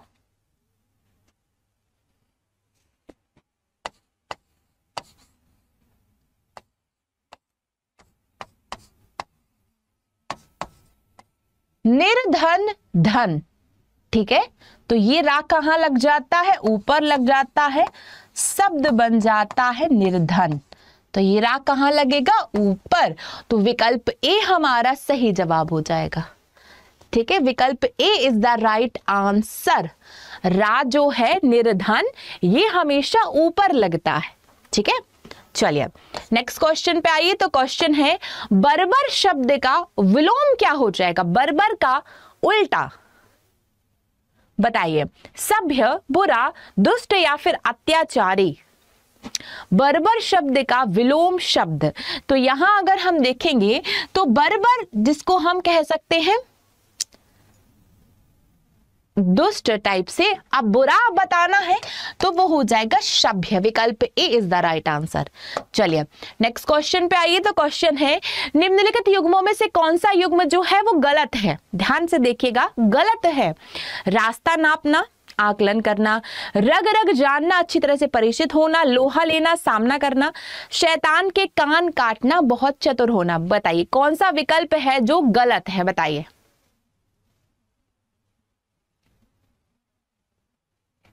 सभी को जवाब देना है। सभी स्टूडेंट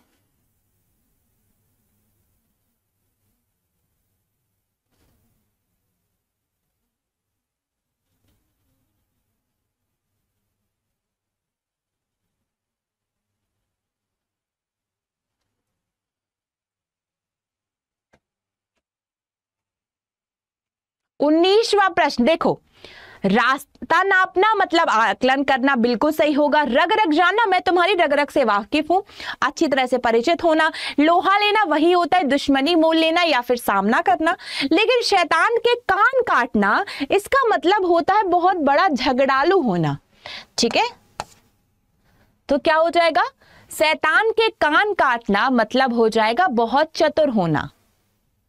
ठीक है? तो विकल्प यहाँ पे हम डी को सही मानेंगे। ठीक है? विकल्प डी, शैतान के कान काटना मतलब होता है झगड़ालू होना। चलिए नेक्स्ट क्वेश्चन पे आइए तो नेक्स्ट क्वेश्चन हो जाएगा यहाँ से, बोलना कौशल में सर्वाधिक महत्वपूर्ण क्या है? रास्ता नापना, समय व्यतीत करना नहीं होगा, ठीक है? आकलन करना उसका एक अर्थ ले लेगा। आकलन करना, ठीक है? चलिए, बोलने की तेज गति समझकर बोलना शुद्ध उच्चारण या फिर आँखों देखा वर्णन। तो ऐसा बहुत सारे लोग हैं इंक्लूडिंग मी मैं भी कभी कभी किस किस, किसी किसी शब्द का शुद्ध उच्चारण नहीं कर पाती। तो यहाँ पे बोलना कौशल में जो सर्वाधिक महत्वपूर्ण है, वो है शुद्ध उच्चारण। विकल्प सी को हम सही मानेंगे, शुद्ध उच्चारण। ठीक है, चलिए नेक्स्ट क्वेश्चन पे आइए। निश्चल शब्द में कौन सा उपसर्ग लगा हुआ है? उपसर्ग मतलब ऐसे शब्दांश जो किसी शब्द के पूर्व में लगकर उसका अर्थ परिवर्तित कर दें। अब निश्चल अगर हम यहाँ पे देखेंगे तो सही जो उपसर्ग होगा, वो होगा निश्च ठीक है? ये जो है, ये संस्कृत का है और नेह कोई उपसर्ग नहीं है। राइट आंसर हो जाएगा निश उपसर्ग। निश धन छल से बना है। तो अगर ऑप्शन में ये है तो इस पे टिक करेंगे। अगर डी दिया है तो डी लेकिन अगर बी और डी दोनों दिए हैं तो हम डी पे टिक करेंगे। ठीक है? विकल्प D is the right answer चलिए। नेक्स्ट क्वेश्चन पे आइए तो क्वेश्चन है आपको बताना है, संयुक्त वाक्य का यहाँ पर आपको चयन करना है, संयुक्त वाक्य। वह परिश्रम करता है, परंतु उत्तीर्ण नहीं होता। फल सदैव धोकर खाना चाहिए। जहाँ से भी संभव हो, घर के लिए अच्छा नौकर लाकर दो, इन पड़ोसी के आने से हमारे साथ उनके संबंध अच्छे हैं संयुक्त वाक्य आपको बताना है, ध्यान से पढ़िए। सभी विद्यार्थी वाक्य से परीक्षाओं में प्रश्न पूछे जाते हैं। फल सदैव धोकर खाना चाहिए, ये कैसा है? साधारण वाक्य है। जहाँ से भी संभव हो, घर के लिए अच्छा नौकर ला के दो, ये मिश्र हो जाएगा। ठीक है, इन पड़ोसियों के आने से ही हमारे साथ उनके संबंध अच्छे नहीं रहे हैं। तो ये भी मिश्र के अंतर्गत आएगा और राइट आंसर हो जाएगा, वह परिश्रम करता है। ठीक है, संयुक्त वाक्य की पहचान क्या है? स्वतंत्र वाक्य हो और संयोजक शब्द के द्वारा वह परिश्रम करते स्वतंत्र, परंतु उत्तीर्ण नहीं होता। तो ये जो विकल्प ए है, वो कहलाएगा हमारा संयुक्त वाक्य विकल्प A is the right answer ठीक है? चलिए नेक्स्ट क्वेश्चन पे आइए। तो क्वेश्चन है, यदि छात्र की खालिस्तान इंद्रों में दोष है तो वह ना भाषा सीख सकता है, ना अपने मनोभावों को व्यक्त कर सकता है। पठन, दृश्य या फिर श्रवण? बताइए। यदि छात्र की दृश्य इंद्रियों में दोष है तो वह ना तो भाषा सीख सकता है और ना अपने मनोभावों को अभिव्यक्त कर सकता देखो, अगर वो सुन नहीं सकता तो वो पढ़ सकता है तो वो भाषा तो सीख सकता है ठीक है मतलब पढ़ के सीख सकता है, लेकिन अगर उसको दिखाई ना दे, ना तो वो भाषा सीख सकता है, ना वो अपने मनोभावों को व्यक्त कर सकता है। तो विकल्प के आधार पर हम यहाँ पे दृश्य को सही मानेंगे। चलिए नेक्स्ट क्वेश्चन पे आ जाइए। राम आया, भाई से मिला और तुरंत लौट गया। यह वाक्य जो है, किस प्रकार का है? मिश्र वाक्य है, संयुक्त है या सरल है? कॉन्सेंट्रेट करना अपने विकल्प पर। सभी विद्यार्थी सभी विद्यार्थी कॉन्सेंट्रेट करना। राम आया, ठीक है? राम आया, भाई से मिला और तुरंत लौट गया। राम आया, एक वाक्य भाई से मिला, दूसरा वाक्य तुरंत लौट गया तो यहाँ पे आंसर क्या हो जाएगा? संयुक्त वाक्य विकल्प B is the right answer संयुक्त वाक्य। चलिए नेक्स्ट क्वेश्चन पे आइए तो क्वेश्चन है, ये आम उसके लिए है। ये आम उसके लिए है। तो आपको बताना है ये जो वाक्य है, उसमें किस प्रकार का वाक्य है? अब यहाँ पे आपको एक साथ सर्वनाम भी बताना है, वचन भी बताना कारक चिन्ह भी बताना है। ध्यान से देखिएगा, क्या लिखा है यहाँ पर? ध्यान से, अन्य पुरुष, ठीक है? बहुवचन संप्रदान, अन्य पुरुष एक वचन संप्रदान। देखो, ये आम उसके लिए है। क्या होगा? देखो, मध्यम पुरुष मतलब तुम तो अन्य पुरुष है, ये तो हमें समझ में आ गया। ठीक है, क्योंकि उसके लिए तीसरे के बारे में बात हो रही है। और ये आम उसके लिए है तो ये जो है, वो बहुवचन के अंतर्गत आएँगे। ठीक है? अन्य पुरुष, ये आम उसके लिए है। ठीक है? अगर लिखा होता यह आम, अगर लिखा होता यह आम, तब हम कहते एक वचन।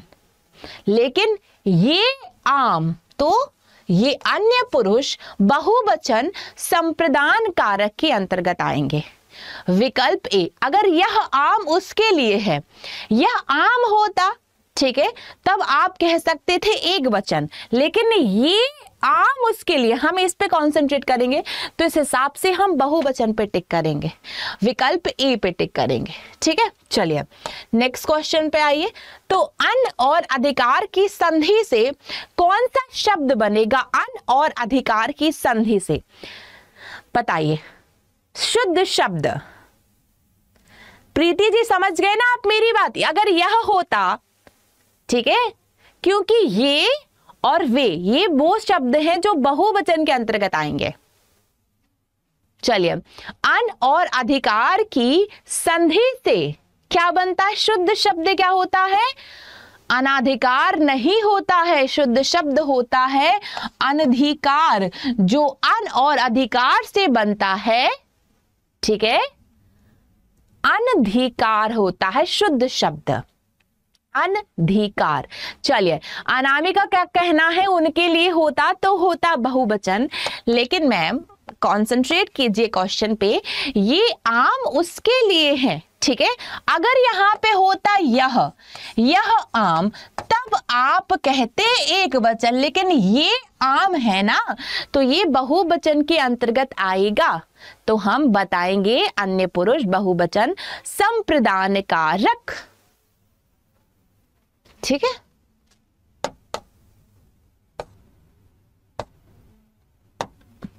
उपर्युक्त उपसर्ग का चयन करना है। अति क्लांत में कौन सा उपसर्ग है? बहुत आसान है। अति उपसर्ग है, अति पूर्व में लगा है, उपसर्ग के अंतर्गत आएगा। हेरुक शब्द का पर्यायवाची क्या होता है? बताइए। कार्तिकेय इंद्र, सुरेश या फिर विनायक? हे रुख सभी को जवाब देना है। हेरुक का पर्यायवाची शब्द क्या होगा? देखिए, बहुत सारे प्रश्न जो हैं, ठीक है? बहुत सारे प्रश्न जो हैं, जो हमें आंसर तो पता है, लेकिन हम विकल्प देख के अक्सर कंफ्यूज हो जाते हैं। तो हमें कंसंट्रेट करना है, उस प्रश्न पे थोड़ा सा टाइम देना है। एकदम से जल्दबाजी नहीं करनी है, ठीक है? अब जैसे आपने पढ़ा कार्तिकेय, हम कहते हैं सडानन को। सडानन होता है, कार्तिकेय का पर्यायवाची, उनको भवानी नंदन भी कह सकते हैं। इंद्र को हम पुरंदर कहते हैं, विडोजा कहते हैं, कौशिक कहते हैं सुर एश हम इंद्र को कहते हैं, और गणपति जी को कहा जाता है हेरुख ठीक है? गणेश जी को कहा जाता है, हे रुक और विनायक जो है, वो गणेश जी का पर्यायवाची हो जाएगा। तो विकल्प यहाँ पे डी सही जवाब हो जाएगा। ठीक है? विकल्प D is the right answer चलिए तेईसवें प्रश्न को हम दोबारा देखेंगे, हो सकता है कोई गलती हुई हो। तेईसवा यहाँ से तेईसवा प्रश्न पूछा गया है, यदि छात्र की खालिस्तान इंद्रिय में दोष है तो वह ना भाषा सीख सकता है और ना अपने मनोभावों को अभिव्यक्त कर सकता है। पठन इंद्रियों में दोष है, दृश्य इंद्रियों में दोष है या श्रवण इंद्रियों में दोष है? बताइए।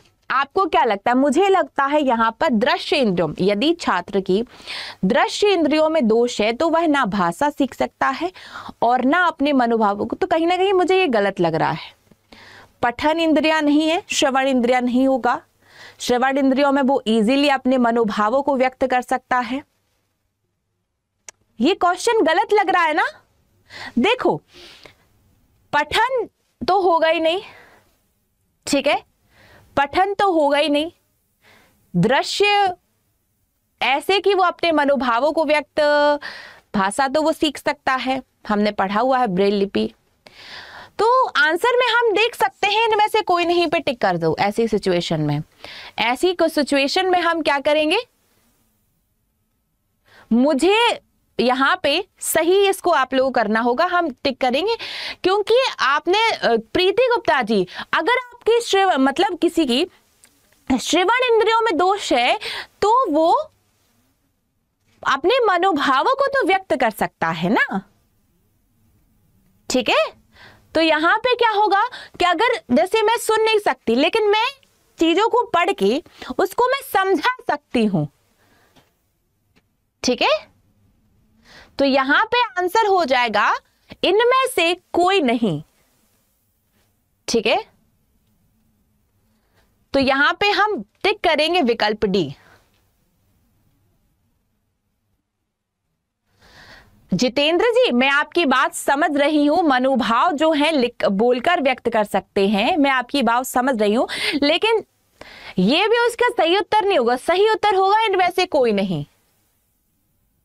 ठीक है? तो हम विकल्प डी को टिक कर सकते हैं। ठीक है? चलिए। नेक्स्ट मैं एक बार क्रॉस चेक भी कर लूँगी। क्वेश्चन है, कौन सा शब्द भिन्न अर्थ और प्रकृति का है? बताइए। कौन सा शब्द है जो भिन्न अर्थ और भिन्न प्रकृति का है? सनातन, चिरंतन, शाश्वत या फिर अधुनातन? सनातन धर्म मतलब सदियों से चला आने वाला, चिरंतन मतलब होता है सदा स्थायी रहने वाला। ठीक है? शाश्वत मतलब भी सदा रहने वाला, यहाँ पे सही जवाब हो जाएगा अधुनातन। अधुनातन मतलब होता है आधुनिक से जो विकल्प है वो हमारा सब सही जवाब हो जाएगा। ठीक है? चलिए। नेक्स्ट क्वेश्चन पे आइए तो नेक्स्ट क्वेश्चन है हमारा। शुद्ध वर्तनी आपको बताना है इंपॉर्टेंट है वर्तनी से प्रश्न पूछे जाते हैं। हाँ जी, ये जो है, ये हमारी 80 नंबर की ही क्लास है, मेन क्लास ही हो रही है यहाँ पे। तो संवत किस प्रकार लिखा जाता है, बताइए? संवत संवत संवत या संवत? सभी को जवाब देना है। सेशन को लाइक एंड शेयर एंड हमारे यूट्यूब चैनल को सब्सक्राइब करना है। और जो भी स्टूडेंट हैं, ठीक है, जो रेगुलर क्लासेस में नहीं आ रहे हैं, वो अगर आप क्लास में लाइव नहीं आ पा रहे हो तो रिकॉर्डेड लेक्चर्स देखिए, ठीक है। और हमारी 20 अप्रैल को एक मैराथन क्लास होने वाली है।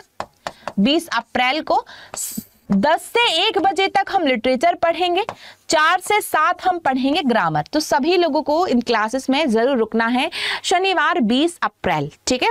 और यहाँ पे राइट आंसर क्या हो जाएगा? विकल्प ए, संवत विक्रम, संवत विकल्प A is the right answer चलिए नेक्स्ट पे आइए। नेक्स्ट क्वेश्चन है, किस क्रमांक में विद्युत का पर्यायवाची नहीं है? विद्युत मतलब होता है बिजली। बिजली का पर्यायवाची नहीं है। बताइए। क्या होगा राइट आंसर चपला कोदंड तड़त या फिर सोदामिनी? बताइए। यहाँ पे अगर हम देखेंगे तो चपला मतलब बिजली, दामिनी, सौदामिनी। राइट आंसर हो जाएगा कोदंड। ठीक है? कोदंड हम कमल को कहते हैं और कोविद हम विद्वान को कहते हैं। ठीक है? चलिए नेक्स्ट क्वेश्चन पे आइए तो नेक्स्ट क्वेश्चन है, कंधा जो शब्द है, उसका तत्सम शब्द क्या होगा? वही प्रक्रिया तत्सम शब्द जो संस्कृत का शब्द हो। इसका, देखो, आपको क्वेश्चन का आंसर आप लोगों को पता है, लेकिन क्या होता है, कई बार हमारे एग्ज़ाम में विकल्प ऐसे आ जाते हैं जो हमें काफ़ी ज़्यादा कंफ्यूज कर देते हैं। तो विकल्प पे गौर करेंगे, कंधा का तत्सम रूप होता है स्कंध। विकल्प B is the right answer स्कंध। चलिए नेक्स्ट क्वेश्चन पे आइए तो क्वेश्चन है, निमिष शब्द का पर्यायवाची शब्द क्या होगा? प्रकाश, पूर्ण, छिद्र या फिर क्षण? सभी स्टूडेंट जितने भी स्टूडेंट लाइव देख रहे हैं, सभी जवाब देंगे हमारे प्रश्न का, निमिष का पर्यायवाची क्या होता है? प्रकाश, पूर्ण, छिद्र या फिर क्षण? एक शब्द आप लोगों ने पढ़ा होगा, निर्निमेश पल के झपकाना। निमिष का पर्यायवाची आपको बताना। ध्यान से देखिए, थोड़ा सा लॉजिक लगाइए। सभी स्टूडेंट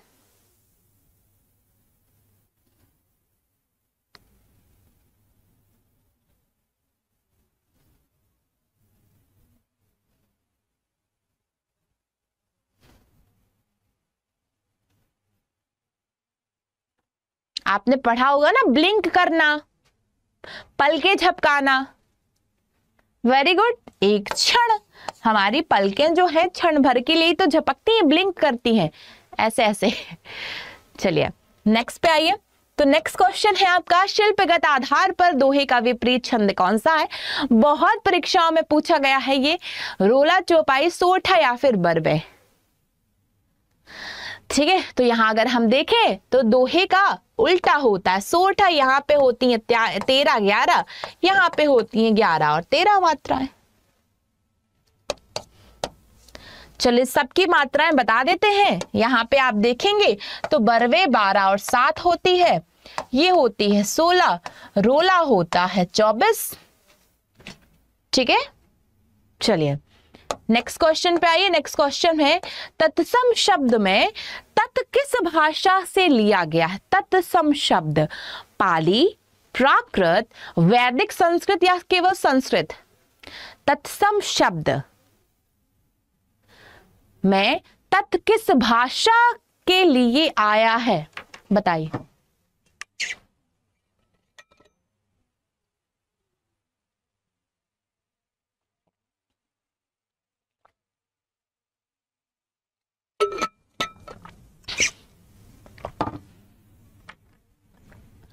तत्सम शब्द में, ठीक है, क्या हो जाएगा? सिर्फ़ संस्कृत पे हम टिक करेंगे। ओनली संस्कृत। विकल्प D is the right answer किस क्रमांक का शब्द जो है तद्भव शब्द है?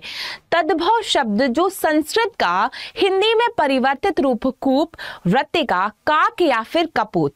तो यहाँ अगर हम देखें तो कूप वृत्तिका काक या कपूत? बताइए, सभी को जवाब देना है? बहुत आसान प्रश्न है। कूप मतलब कुआँ वृत्तिका मतलब बाती, काक मतलब कौआ, कपूत होता है कुपुत्र।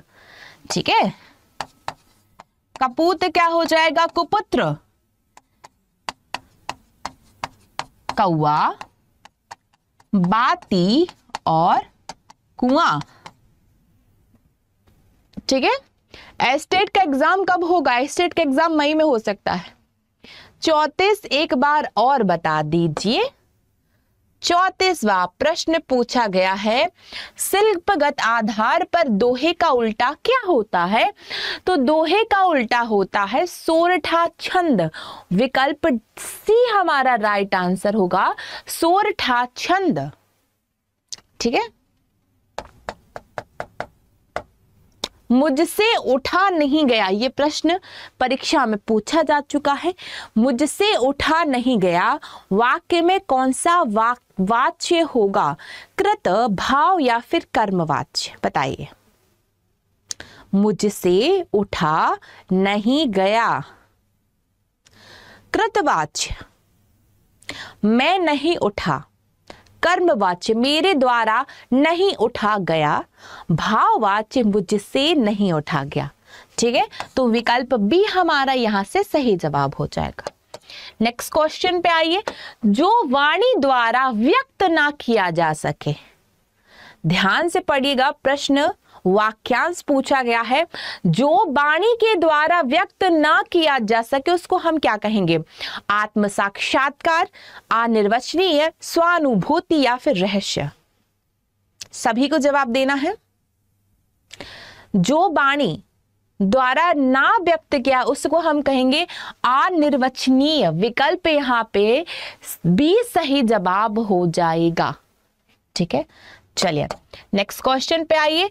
तो कौन सा शब्द हाल ही की सिक्स एट परीक्षा में पूछा जा चुका है? कवियत्री किस प्रकार से लिखा जाता है? कवि का स्त्रीलिंग शब्द होता है कवियत्री। कवियत्री हम लिखते हैं ऐसे। कवयित्री कवयित्री विकल्प D is the right answer चलिए नेक्स्ट क्वेश्चन पे आइए। इंद्राणी शब्द का पर्यायवाची क्या है इंद्राणी? राधा, गौरी, सची या फिर रमा? इंद्र इंद्र का स्त्रीलिंग हुआ इंद्राणी। राधा जी, गौरी जी, सची या फिर रमा? तो राधा नहीं होगा। Gauri, Bhavani, Rama, Lakshmi, Sachi is the right answer तो विकल्प सी यहाँ पर सही जवाब हो जाएगा। ठीक है, चलिए। नेक्स्ट क्वेश्चन पे आइए। क्वेश्चन है, किस वाक्य में क्रिया का जो है भाववाच्य भाववाच्य से परीक्षा में बहुत ही ज़्यादा प्रश्न पूछे जाते हैं, ठीक है? और आज दिख रहा है क्लास में काफ़ी कम बच्चे नज़र आ रहे हैं तो जो भी लोग ये सोच रहे थे कि अब मैम की क्लास नहीं होगी तो मैम वापस आ गई, अब हमारी क्लासेस डेली होंगी। सुबह ग्यारह बजे, दोपहर दो बजे और हमारी हमेशा की तरह सैटरडे मैराथन होगी। इस बार तो छह घंटे की मैराथन हो रही है। ठीक है? लड़कियों ने माँ को देखा, उससे फूल नहीं खाए गए, घोड़ा ही नता, ये काम तो उनसे संभव नहीं। तो ये सब हो जाएँगे कृतवाच्य, लेकिन उससे फूल नहीं खाए गए। फूल नहीं यहाँ पे लिखना था, उससे फल नहीं खाए गए। क्योंकि फूल तो कोई खाता ही नहीं तो उससे फल नहीं खाए गए। विकल्प B is the right answer चलिए नेक्स्ट क्वेश्चन पे आइए तो क्वेश्चन है, अनुराग का विलोम क्या होगा? पीवाईक्यू है, पूछा जा चुका है। अर्क, द्वेष, विराग या फिर राग? बताइए, अनुराग का विलोम शब्द क्या होगा?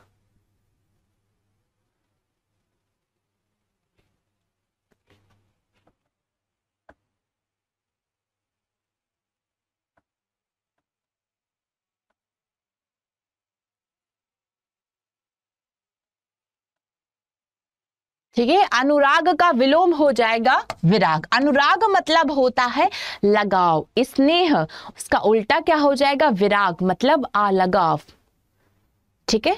चलिए नेक्स्ट क्वेश्चन हो जाएगा। मेरी भव वाधा हरो, राधा नागिरी शोए जातन की झाई परे, श्याम हरित दुति हुए। इस पंक्ति में एक एग्ज़ाम में शब्द शक्ति पूछी गई थी। व्यंजना, अभिधा लक्षणा, यहाँ पे अलंकार पूछा गया है। श्लेष यमक तत्व, उसमें आप लोग को अलंकार बताऊँगे, आप लोग मुझे शब्द शक्ति बताएँगे। ठीक है? मैं अलंकार बता देती हूँ कि यहाँ पर हो जाएगा आपका श्लेष अलंकार। ठीक है? अब आप लोगों को बताना यहाँ पे शब्द शक्ति कौन सी होगी। सभी स्टूडेंट्स को जवाब देना है, श्लेष अलंकार, जहाँ एक शब्द से अलग अलग संदर्भ में अलग अलग अर्थ निकले, वहाँ होता है श्लेष अलंकार। शब्द शक्ति यहाँ पे कौन सी हो जाएगी? जल्दी से जवाब दीजिए सभी स्टूडेंट्स शब्द शक्ति कौन सी होगी यहाँ पे?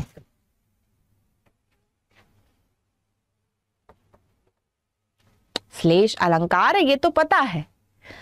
शब्द शक्ति।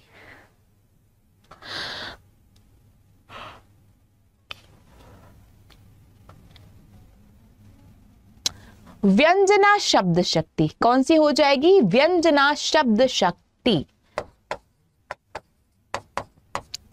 चलिए नेक्स्ट क्वेश्चन पे आइए। शाखा मृग में प्रीति जी, लक्षणा कैसा हो जाएगा? लक्षणा में तो यमक अलंकार होता है। व्यंजना होगा ना? श्लेष अलंकार जहाँ होता है, वहाँ व्यंजना होती है। यमक जहाँ होता है, वहाँ लक्षणा होती है।